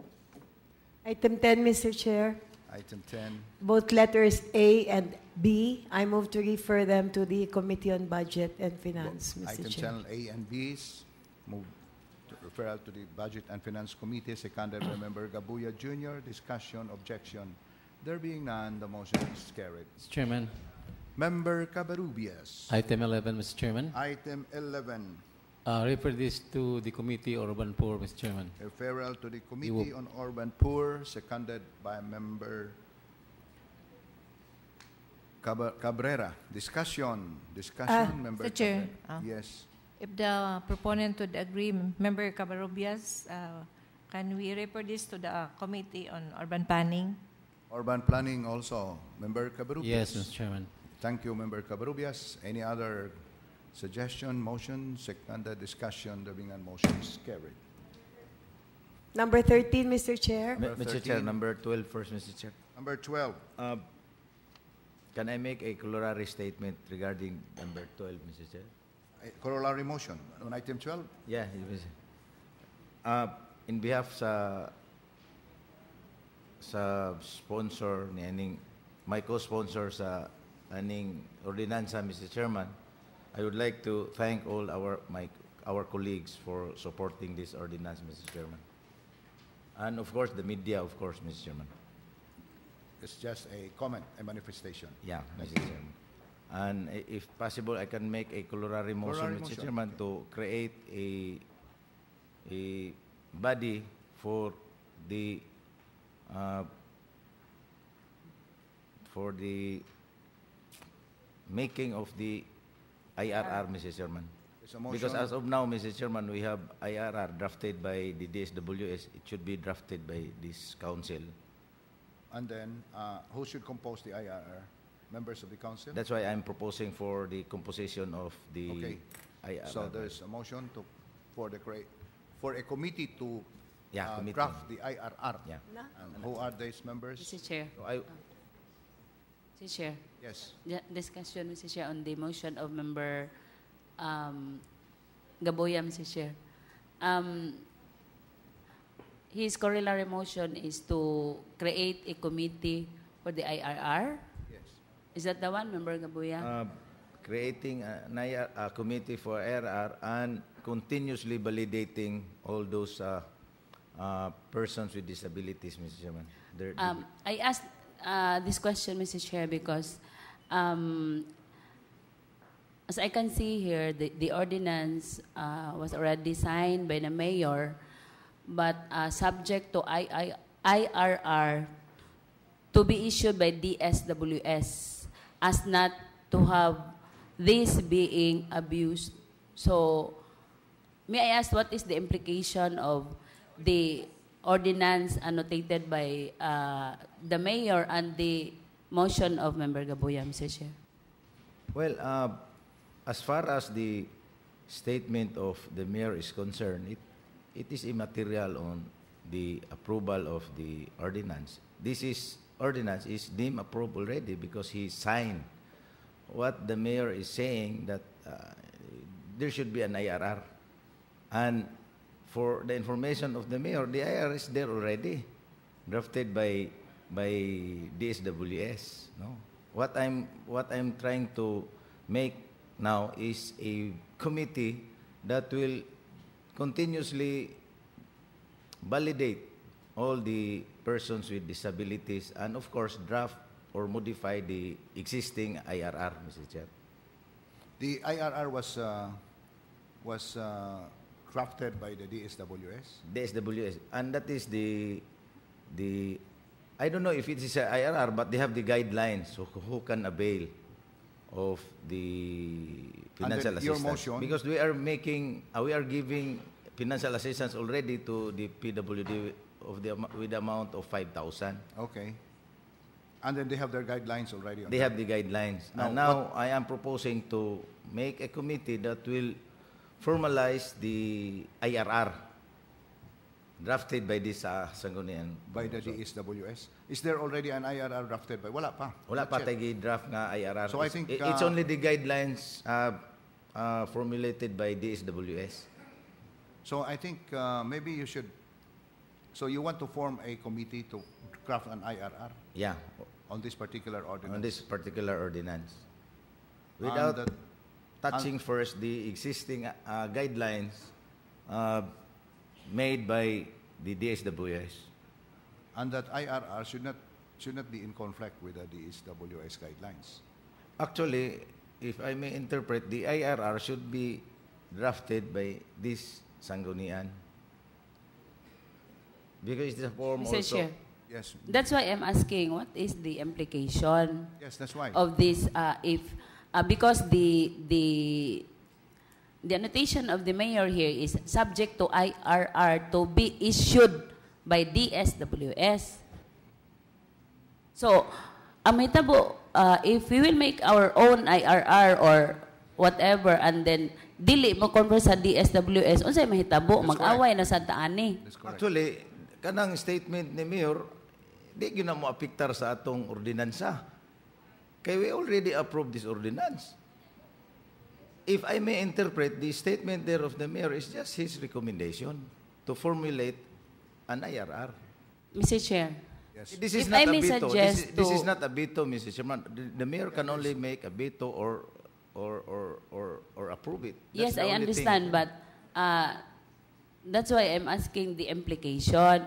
If I may suggest to Member Gabuya, Mr. Chair, if he will chair the, the committee and call a meeting with the DSWS to form an IRR. precisely why I'm making a committee, Mr. Chair, to that, to that effect, just to to accommodate, uh, just to accommodate the statement of the mayor. Can we have a recess?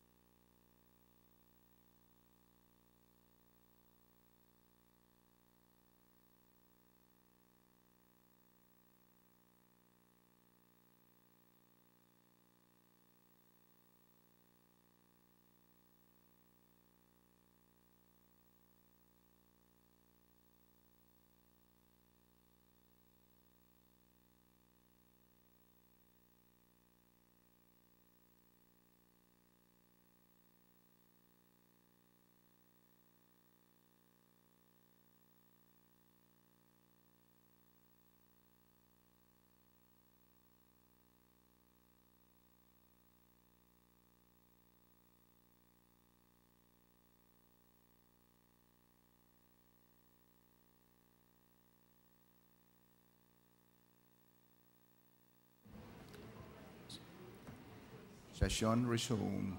Yeah, uh, Mr. Chair, uh, I will heed the advice of the presiding officer, Mr. Chairman, to withdraw my uh, Thank you.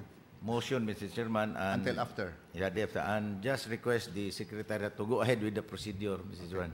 Thank So you, The thank next step is the publication. Thank you, Member Then I will act on it later on. Next item, please.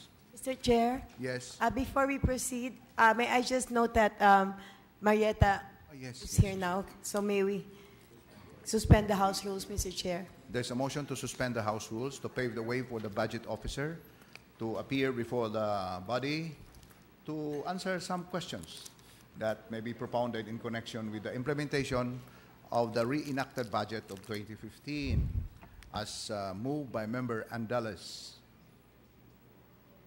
To be specific. Se- Seconded, seconded Second, Mr. by Chair. Member Gabuya Jr. Discussion, objection, there and- being none. And, and to be specific, Mr. Chairman, that uh, the city-sponsored item is Particularly part- on the city-sponsored ac- item. is under That would include uh, the DBM guideline. uh, election, pre-election expense. Discussion, objection, there being none, the motion is carried.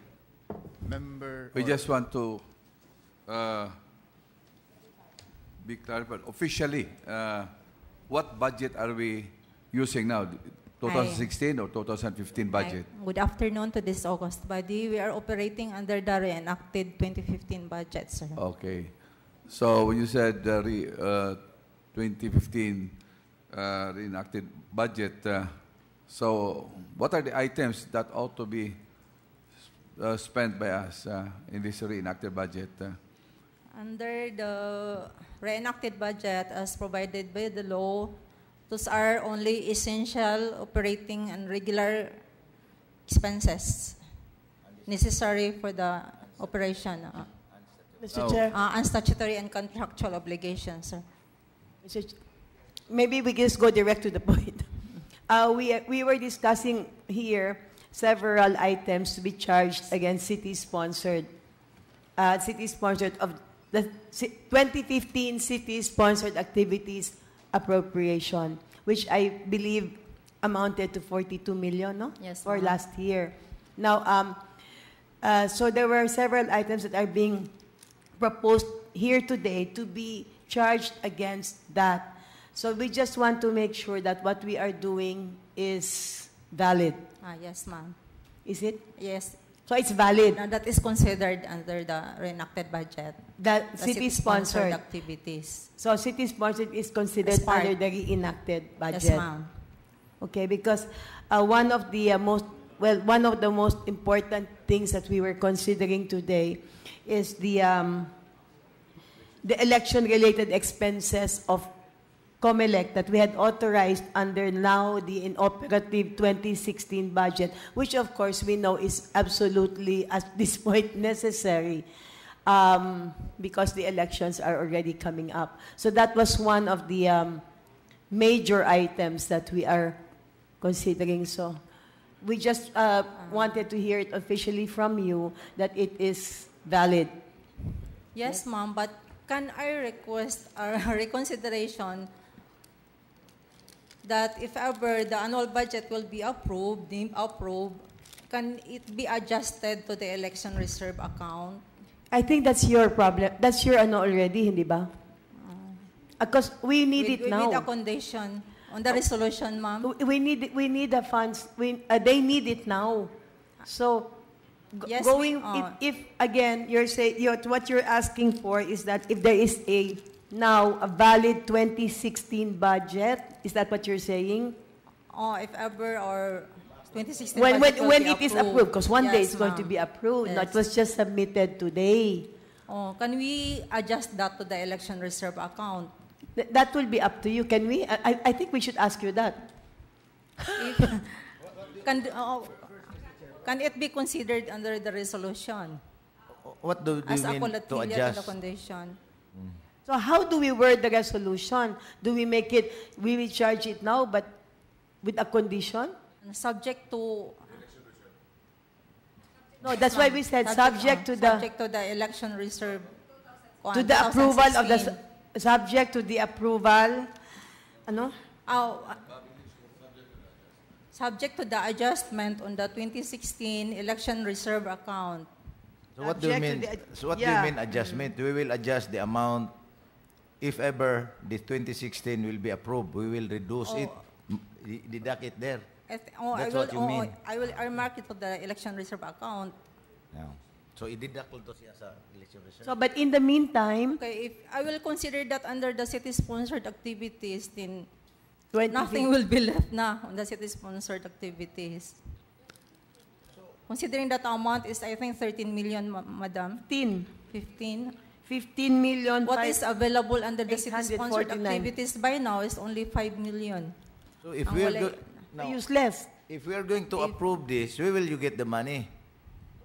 Ah, we can get the money, but it will be There's money, there's no account Oo. to be charged. Mr. again. Chairman. Yes, no. Yes, Member Wences. Uh, yet I just want to be clarified. What you are saying is uh, we can use the city-sponsored activities temporarily For the reenactment. while uh, the election reserve is not yet approved, Approved. the revised Yes, 2016 uh, annual yes, budget. sir, uh, uh. So once it will be approved, hoping that it will be approved, so it will be the, the election reserve Should will be be the the one will be used and it will be adjusted for Yes, to the sir. city-sponsored activities. That's what that's what you're saying. Oh, okay. Dili naman ta makasulod sa city-sponsored activities mo if I will have that accounted under that account. Na-confuse ko, Mr. Chair. Ang ato resolution charge to 2015 reenactment budget. Kanya, nag-approve sa 20- 2016, no pasar na sa resolution, charging it to 2016 approved budget. Because there are still some expenses under the election reserve which requires resolution. Mao lagi kung butangag subject to the 2016 annual budget, Subject revised annual budget. So di kita magagamit sa The, subject to the adjustment naman, sir. Adjustment na lang. Subject to the adjustment of the election reserve account Yes, ma'am. of 2016 when approved. When approved. Chair. Mr. Chair. Yeah. How, Mama Yet, how much is the, as of now, it would be lump sum appropriation for 2015? For the city spon- city sponsored For the city activities, ma'am. sponsored, eh? Yes, ma'am. Yeah, how much is in 2015? So 15, nothing nothing has been earmarked pa. Uh, Not yet? For the city sponsored So how- activities. how much is the lump When sum we amount? started the reenacted budget, 42 million? Okay. 42 pa. Uh, it's, under may the I, Mr. Chair? budget. It's Members 42 may- million in the, in the 2015 budget, what was approved under city-sponsored is 42 million pesos. It was a lump sum. Yes, We can madam. charge So the it 50 is, as of now, nothing has been charged and there is nothing obligated under it, right? Yes, madam. So what, what we can do, because of the, ex- this is really urgent, the one of the uh, COMELEC, we are using, we can charge, if I may just um, say what you, repeat what you said so that we get it correctly, Marietta, is that we will charge it as of now to the 2015 uh, city-sponsored activities but appropriation subject To to the adjustment. of the elections reserve account of the 2016. a 2016 budget when approved. When approved. Yes, ma'am. Th- That's, that's their problem. That's Marietta's problem. Um, Marita, I just want to, Mr. Chair. Yes, Who determines urgency? That this is urgent and ne- necessary expenses? The mayor? The local chief executive, as ruled The- by the law. Ah, is that so? So, Oh, he can, he's the one. so the discretion is with the mayor? No, Yes. I will correct you. As far as reenacted, when it is considered urgent, it is, it is a, isn't it a uh, collaboration between the executive office and the uh, council? Ah. They will agree on what is urgent. Because even in the MOOE, we cannot use everything that was there in the 2015, hindi ba? In a reenacted budget, we cannot use all that was approved for in 2015. It is only what is considered uh, essential. And I think the, uh, the uh, decision on doing that is decided if there is any conflict be, um, between the ex- executive, well, this is what it says, but I don't know if that happens, I- and the uh, council. Mr. Chair.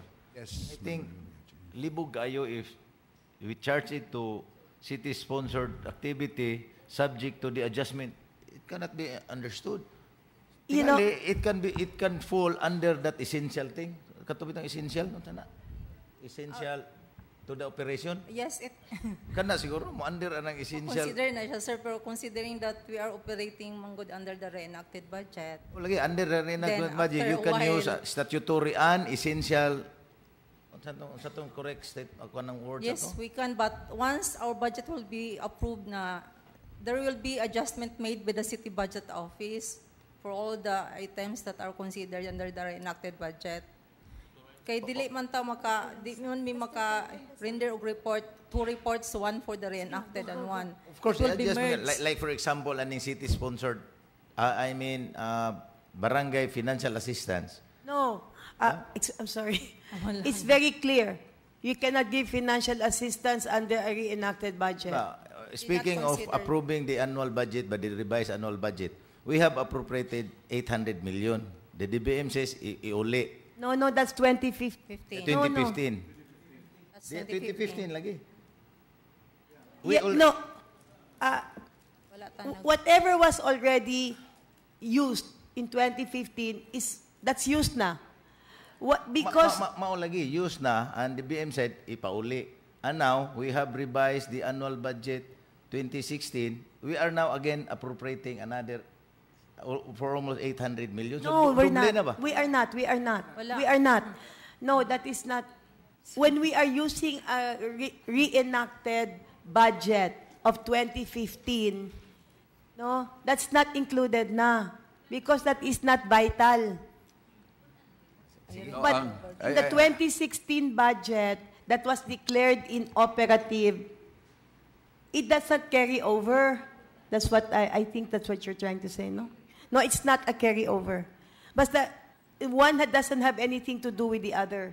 No. Okay, Member Andales? Yes, I, I- I just want to be clarified because according to uh, uh, Marcos Osmeña, uh, there should be collaboration with the executive and legislative. Do you agree with that? If it is urgent?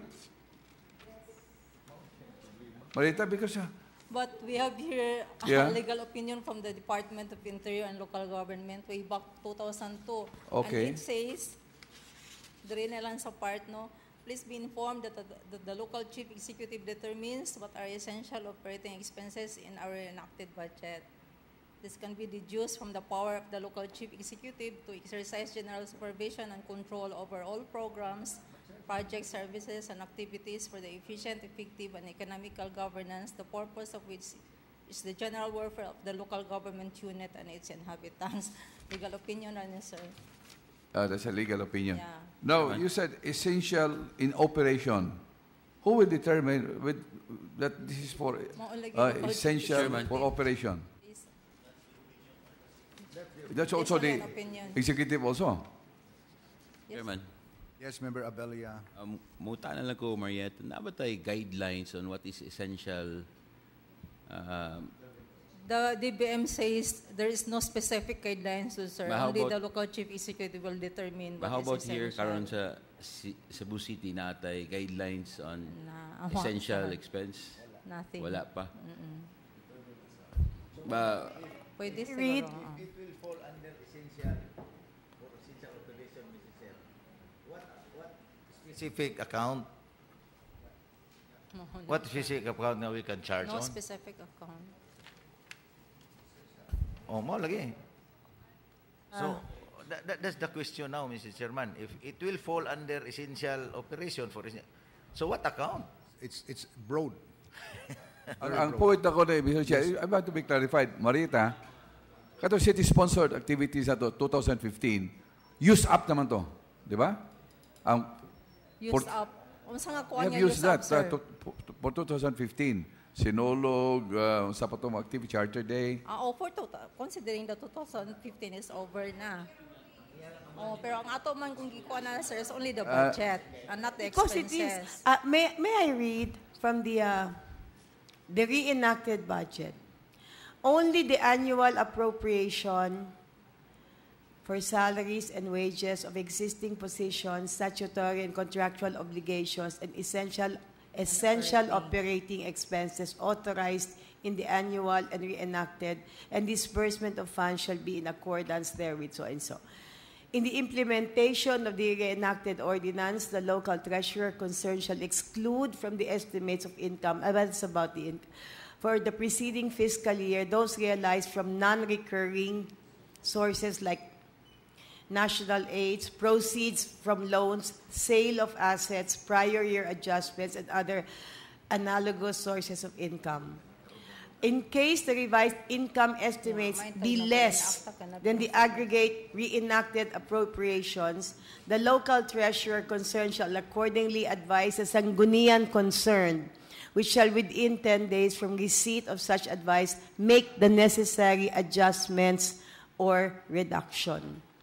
The revised appropriation authorized by the Sangguniang ah, hala, got lost, shall then be the basis for disbursements.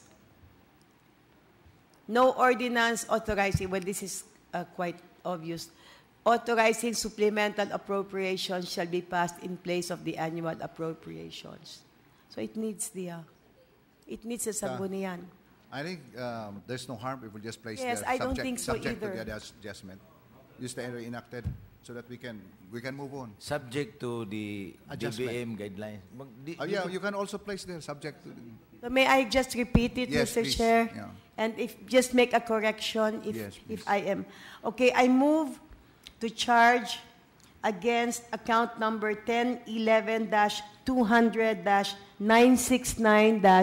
1011-200-969-023, city-sponsored activities of 2015, do I say that? Of 2015, the amount of 15,849,466 to defray election-related expenses. All of this subject to the adjustment of the election uh, reserve account Count under the 26. under the 2016 budget when approved. And, uh, uh, Member Gabuya, Yes. what was your second?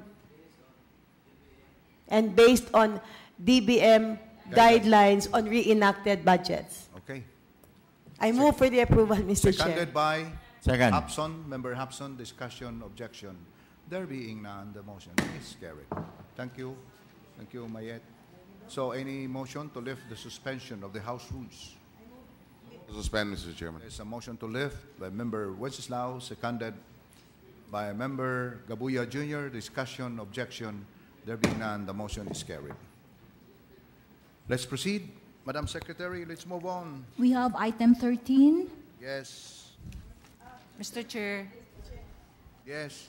Um, joint referral to the Committee on Public Order and Safety and Budget and Finance. There's a motion of Member Cabrera for a joint referral to the Committee on Budget and Finance and to the Committee on Public Order and Safety, seconded by Member Arcilla. Discussion, objection. There being none, the motion is carried. Proposed resolutions and ordinances sponsored by the following city councilors. Item 14, proposed resolutions of member Margarita Osmeña. Member Osmeña, please. Yes, Mr. Chair, I move for the omnibus approval of items A to le- letters A to let to letter H, Mr. There's Chair. an omnibus motion of Member Osmeña on item 14A to H, seconded by Member Cabrera. Discussion, objection. There being none, the motion is carried. 15, proposed resolutions of member Abella. Member Abella.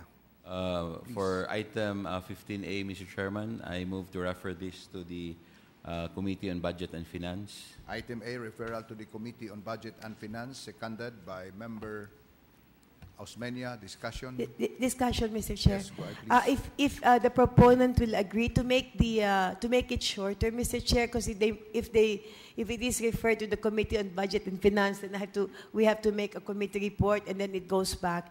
Uh, Would he, would he uh, consider just um, deferring this first for one week and then just get the calf? Okay. And then, and then that's it. Just get the Just CAF defer and then charge. And then you can propose it next week. Okay, Mr. Chairman. Thank you. Thank you. Uh, Move to defer um, 15A, Mr. Chairman. Seconded. Seconded by Member Osmeña. Yes, discussion, objection. There being none, the motion is carried. And for item uh, B to E, Mr. Chairman, I move for the omnibus approval. There's, uh, on item B to E, for the omnibus approval, Uh, seconded. Item 16. uh, bas- Mr. Chair? Yes. A reconsideration on item D? Item B, yes. D. Yeah, it's still on the discussion portion. Yes, Ah. go ahead, please. Eh, Sorry, yes. Um, If the proponent will agree, or may I ask, has this been already referred to Committee on Housing? Member Abella? Letter D, kabi, kabing, kabingki, kabingki? Letter Ah, no, I think this is okay. We're the ones who bought this, no? I'm sorry, I'm sorry. I withdraw my question, Mr. No Chair. problem, no objection. Uh, by the way, I saw, is this uh, Junicius, Mr. Junicius, he was, ju- just for, just for his information that this is already the resolution that has been waiting for almost every session. He's, he's here to, sige, okay. Di, para lang siya mahibaw kay kada, kada session ni Adinha. Mr. Juniciusi, eh, just let him know that you have already sponsored his, okay na, discussion, objection, there being none, the motion is carried. Item Mr. 16. Mr. Chair. Yes. Reconsideration on item C, Mr. Oh, Chair. reconsideration, yes. Um, There's a motion for reconsideration, seconded by member Wenceslao. Discussion, objection, there being none, the motion is carried. Yes, If what is the proponent, Mr. Chair, will agree, um, can we first refer this to the Games and Amusement Committee, Mr. Chair? Member Abella, referral? Yes, Mr. Chairman, Problem. I yield to the So, suggestion. Instead of approval, referral to the Committee on Games and Amusement on item C. Ah, Mr. Dionisio C., na approve na imong kwan? Approve na ang imong ah, sponsored by Member Abelia. Okay na imong Oh, okay na. Sige. Okay na. Next item, please. Madam Clerk. 16, proposed resolutions of Member De Los Santos. Member De Los Santos, please. For item A, Mr. Chair, refer to social services, and for item B, moving for approval. Omnibus motion, letter A for social services, letter B for approval, seconded by Member Abella. Discussion, objection, there being none, the motion is carried. 17, proposed ordinance of Member Dizon entitled, An Ordinance Setting Every October as Ordinance Awareness Month in the City of Cebu and Providing Funds therefore. Member Dizon, please. Uh, move to refer this to the Committee on Laws, Mr. Chairman. Referral to the Committee on Laws, seconded by Member Japson. Discussion, objection, there being none, the motion is carried. Item 18, proposed resolutions of Member Zafra. Mr. Chair. Yes, Member On behalf of Member Zafra, Mr. Chair, move to defer item A, Mr. Chair. Move to defer, seconded by Member uh, Cabrera. Discussion, objection, there being none, the motion is carried. And move to approve item B, Mr. Chair. There's a motion for approval on item B, seconded. Seconded by Member Cabarrubias. Discussion, objection, there being none, the motion is carried. 19, Mr. Chairman. Yes. Uh, reconsideration on uh, um, item H uh, 3, uh, Mr. Chairman. Item? Uh, I was informed that uh, member Andales has a condition uh, subject for the submission of the um, extrajudicial Wh- wh- Which one? Item? item H3. Ah, committee reports? No, no, let me see. No, uh, on the proposed resolution, Mr. Chair, Oh. of the uh, authorizing the Honorable Mayor Michael L. Rama, H3. So subject to the condition as raised by Member Andales, Mr. Chair, I'm moving for the approval of item H3, Mr. Chair. What was Uh, the let's, condition? there's a motion for reconsideration of Member Carillo, seconded by Member Wenceslao. Discussion, objection, there being none, the motion is carried. So what's the, what's the reconsideration, Member Carillo? Um, Member Andales uh, uh, proposed a, uh, a condition that uh, for the submission of the extrajudicial uh, of settlement, Mr. Chair, among heirs. So with that uh, condition, Mr. Chair, to be placed before uh, the signing or before the approval of the, the resolution. So with that condition, Mr. Chair, I'm moving for the approval of item H3, Mr. Chair. There's a motion of So Member moved. Carillo, seconded by Member Wenceslao. Discussion. Discussion, Mr. Discussion. It's not uh, judicial uh, settlement, but judicial declaration of ears uh, pursuant to the case of ears of uh, Guido Yap Ching Chai and Isabel Yap Ching Chai versus Honorable Roy De Rosario et al. under 304 Iskra 18. Before this August body will approve the authorization of the mayor to sign the deed of sale because it's very important. Uh, uh, one cannot just claim to be an heir without any uh, judicial declaration. It's very, very important. It has been the, the uh, jurisprudence, Mr. Chair. no Uh, problem, Mr. Chair. Subject to the submission of the parties uh, to the um, proposed uh, condition made by Judicial. Member Andales. That would be all, Mr. Chair. Thank you. Discussion, objection, there being none, the motion is carried. 19, proposed resolutions of Member Andales. Member Andales, please. Uh, uh, omnibus approval, Mr. Chair. There's an omnibus motion of Member Andales, seconded, seconded by whom? Member Japson. Discussion, objection, there being none, the motion is carried. 20. Proposed resolutions of Member Japson. Member Japson. Move to approve item 20A to G in omnibus manner, Mr. There's Chair. an omnibus motion of Member Hapson, seconded by Member Arasilia. Discussion, objection, there being none, the motion is carried. 21. Proposed resolutions and ordinance of Member Tumulak. Member Tumulak. Letter A and letter B, Mr. Chairman, moving for its approval. There's a motion of Member Tumulak, seconded by Member Abelia. Discussion, objection, there being none, the motion is carried. Letter C, Mr. Chairman, uh, refer to Committee on Laws. Referral to the Committee on Laws, seconded by Member Wenceslao. Discussion, objection, there being none, the motion is carried. 22. Proposed resolution of Member Chair. Arcilla. Member Arcilla. Oh, Arcilla. No, consideration, Mr. Chair. There's a motion I for just want to- reconsideration. To be clarified, Mr. Chair. Seconded by Member Japson. Discussion, objection, there being none, the motion is carried. What is it, Member Yeah. Cabrera? Item 21C of Member 21. Tumula. This is the same ordinance we approved last, uh, we passed last week. Uh, Honorable Cabrera, uh, we have not yet passed the uh, proposed ordinance by Honorable Gabuya, but uh, this is different because uh, we have the duties and functions uh, to be given to our barangay fire auxiliary. That's the reason why I, re- Anyway, I refer this this to the Committee on reading. Laws. Yes. Anyway, refer to the Committee on Committee Laws. on Laws, okay. Next item, 22. Proposed resolution of Member Arcilla. Member Arcilla. Thank you, Mr. Chairman. Move to approve item 22. There's Mr. a Chairman. motion of Member Arcilla, seconded by Member Wenceslao. Discussion, objection, there being none, the motion is carried. 23. Proposed resolutions of Member Cabrera. Member Cabrera. Moving for its approval, item A and B. There's a motion for approval on items A and B, seconded by Member Japson. Discussion, objection, there being none, the motion is carried. 24.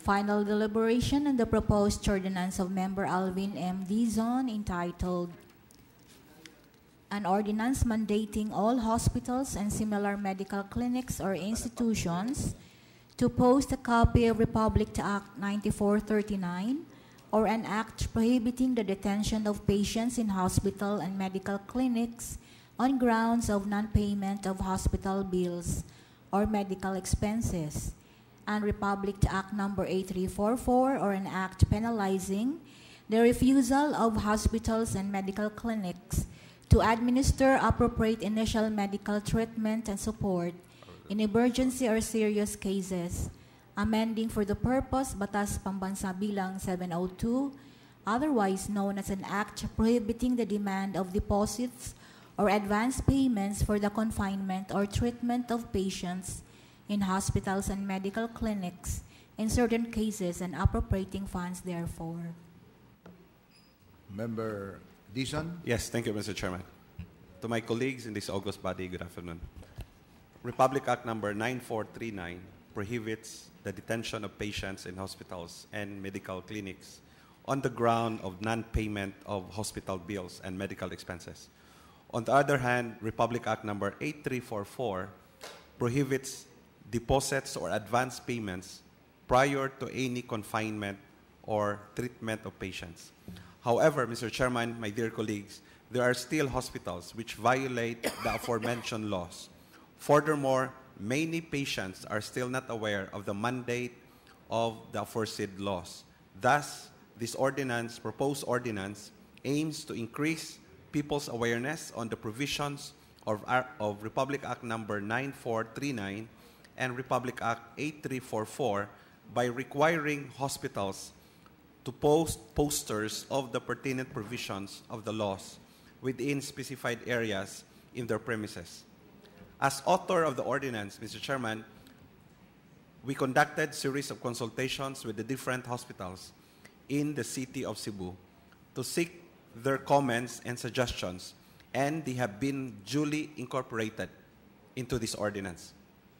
The proposed measure also provides clear standards as to the size and content for the posters. To ensure utmost compliance, the ordinance mandates that the city will print or produce the posters and it will then be distributed to the different hospitals. The compliance of the ordinance is a requisite for the renewal of the hospital's business permit. This will be done through regular inspections to be conducted by the Cebu City Health Department. This ordinance aims to strengthen and protect patients' rights by increasing their awareness on the laws that protect their rights. It is only when a person knows about his rights can he successfully claim them. Thus, I move for the approval of this proposed measure, Mr. Chairman. So move. There's a motion of Member Dizon for the approval of his proposed ordinance, seconded by Member Abella. Discussion? Member Andales? Yes, uh, just point. I have no uh, quarrel as far as the ordinance is concerned, but uh, uh, if there is a clear violation of the law, like uh, uh, withholding patients for non-payment of hospital bills, and uh, uh, uh, other 94, uh, 39, uh, the Public Act. Uh, now, if the hospital violates the same, they cannot claim ignorance that they do not know the law. Am I right? Because ignorance of the law excuses no one. This is uh, provided for in our uh, Civil Code of the Philippines. Now, the point here, uh, as far as the ordinance is concerned, I suggest there is that to place only the uh, the salient points in the Republic Act uh, 9439 and 8344 at the expense of the city government for uh, the information of the public, not necessarily for the hospital. Am I right? I think that's the point there. Yeah, that is right. Uh, after, uh, that's one of the action points uh, raised by the hospitals, different uh, uh, hospitals, nga, to ensure uh, strict compliance of the posting of the laws, no? Uh, the city government will be the one to shoulder. Para there will be uh, uniformity of the of the of the posters, uh, just like the PhilHealth posters, no? Nga ang PhilHealth may nagprinta, nagproduce nga No, a- a- ako lang, kung uh, if the, you want the hospital to, to strictly comply with the provisions of 9439 and 8344, I think it is not uh, necessary to have a tarpaulin there because if they do not uh, strictly comply with the provisions therein, then they can be charged uh, criminally based on the, uh, the law itself. But it seems that your point here is that you want to let the public know that there is such an, an law. Uh, I think this is the point there. Yeah, uh, to strengthen and uh, uh, to strengthen awareness, to raise uh, people's awareness uh, on their rights. So this is one of the paramount objective of the proposed measure. Okay. At the, at the expense of the city government? Yes, every two years uh, we will set aside uh, 300,000 pesos uh, for the printing cost uh, of these uh, posters and uh, uh, mo na ang atong appropriation isulod sa atong annual budget. Mr. Chairman, um, Carillo, please. I'm in support of this uh, ordinance. But uh, ako lang uh, fear kay uh, mao na ni himuon nilang lusot nga dili sila mo comply sa ordinance because the city government have not given them uh, a copy of the um, uh, of the ordinance as uh, mentioned uh, in the said ordinance no kay naman section 3 required size and wordings to ensure visibility and readability copies of law shall be in form of a signage meaning to say we will post the copies of the law in the form of signage, at least uh, 24 inches in width and 18 inches in length in all locations. That means we need to reprint the law into a signage. So dako-dako yun eh. And then, uh, um, and uh, it shall be posted, uh, printed in the poster or in a tarpaulin. Now, member Dizon a while ago said that uh, um, it will be the city who shall reproduce. That's correct. And uh, uh, Section 3 uh, of the proposed... Some confusion on the im- implementation, no? Na confusion on the patient themselves. Like, for example, Republic Act 9439 specify that uh, this will only apply to uh, patients who are admitted in the ward section. But those patients that are in uh, private um, wards, uh, this law may not apply. Ay- ay- so, basic ang magunahuna, nga, this will apply to everybody. Kaning Republic Act 9439. Um, there might be confusion ba kung uh, pipila lang kaprobisyon sa mong balaod ang uh, ang atong ibutang sa mong tarpaulin as uh, the saying goes little knowledge is very and very dangerous no Yeah. We, we consulted the, the management of the different hospitals and we also consulted, consulted their legal consultants. Actually, Section 1 and Section 2 of RA 9439 al- already captures the spirit of the, of the laws. So di na kinahanglan nga iprinta pa ang, ang Ang tibok entirety. balaod. Nga, one, one, uh, one explanation also uh, cited uh, by the medical director of one hospital nga kung magbutang tag dako kay nga tarpaulin didto tingay masudlan ni og kanang bacteria no so mo na nga uh, ang ang ang spirit nga nung uh, uniform ang poster nga atong ibutang ang kadakon kay dunay dunay kuan dunay uh, murag medical uh, uh, sanitation for sanitation purposes uh, uh, Mr. Chairman and member uh, Carillo Actually, uh, let me assure the members of uh, this August body that this proposed measure went through uh, several consultations. We conducted, I think, at least three consultations nga inigsud ni mga sa hospital ma hibaw-an din nimo nga ah, sa PhilHealth ni nga kuan nga information the material. Yeah, uh, Mr. Chair. Just, Member Andales? yeah, point of clarification. Now, if you place there uh, uh, only sections 1 and 2 of Republic Act 9439 and Section 1 of Republic Act 8344, uh, why is it that in Section 15, uh, uh, Section 5, uh, says here that uh, to educate uh, Yeah. the members and staff on the salient provisions of uh, 9439 and 8344. Yeah, To section- So they have to, the, the, the entire law. Yes.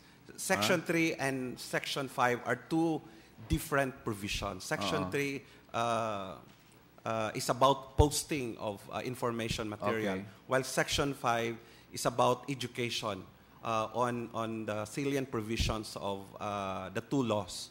So, importante pod nga uh, uh, ang mga medical uh, personnel sa hospital mo conduct og regular education and orientation uh, program sa ilang mga frontline personnel staff no on the salient provisions of uh, the two laws. Any more question? Mr. Chairman. Yes, Ms. Member Uh, Abelia.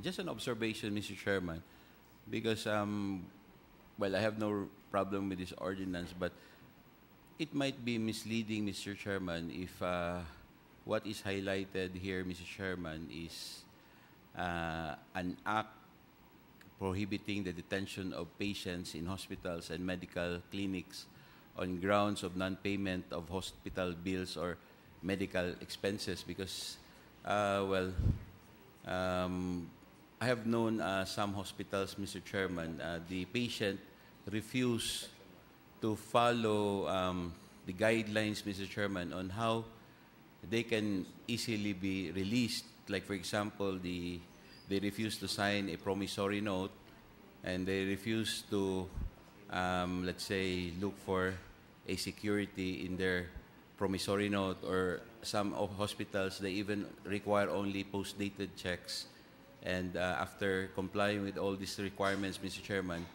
uh, they can easily be released by the hospital. But with this, um, with this, um, with this title, Mr. Chairman, that uh, it's um, totally prohibited, prohibiting the detention of the patients in hospital uh, for reason of non-payment, might uh, give the impression on the patient that they don't really need to um, comply with the with the, with the uh, execution of the promissory notes and um, uh, including the security of the promissory notes, Mr. Chairman.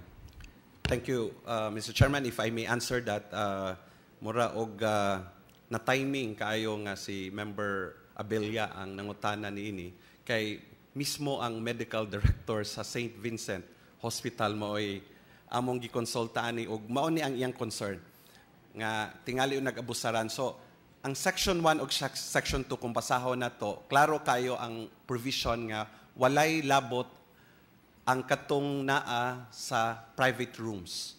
So, naka-clearly provide na sa Section 1 o Section 2 under 9439 nga katong ah, naa sa private rooms, dili sila mahimong nga makasandig ni ini nga balaod. So, kinahanglan gyud silang mu- mubayad no? Or mo ah, sunod sa mga requirements. Naani siya sa section 1 or section 2 and ah, mao ni ang mutubag nga dili ni maabusaran nga maong maong, ordin- maong ordinansa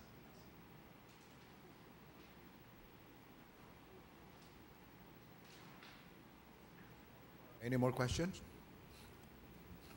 So, there, since there are no more questions, the proposed ordinance of Member Dizon is hereby carried and approved. Thank you Mr. Chairman thank you dear colleague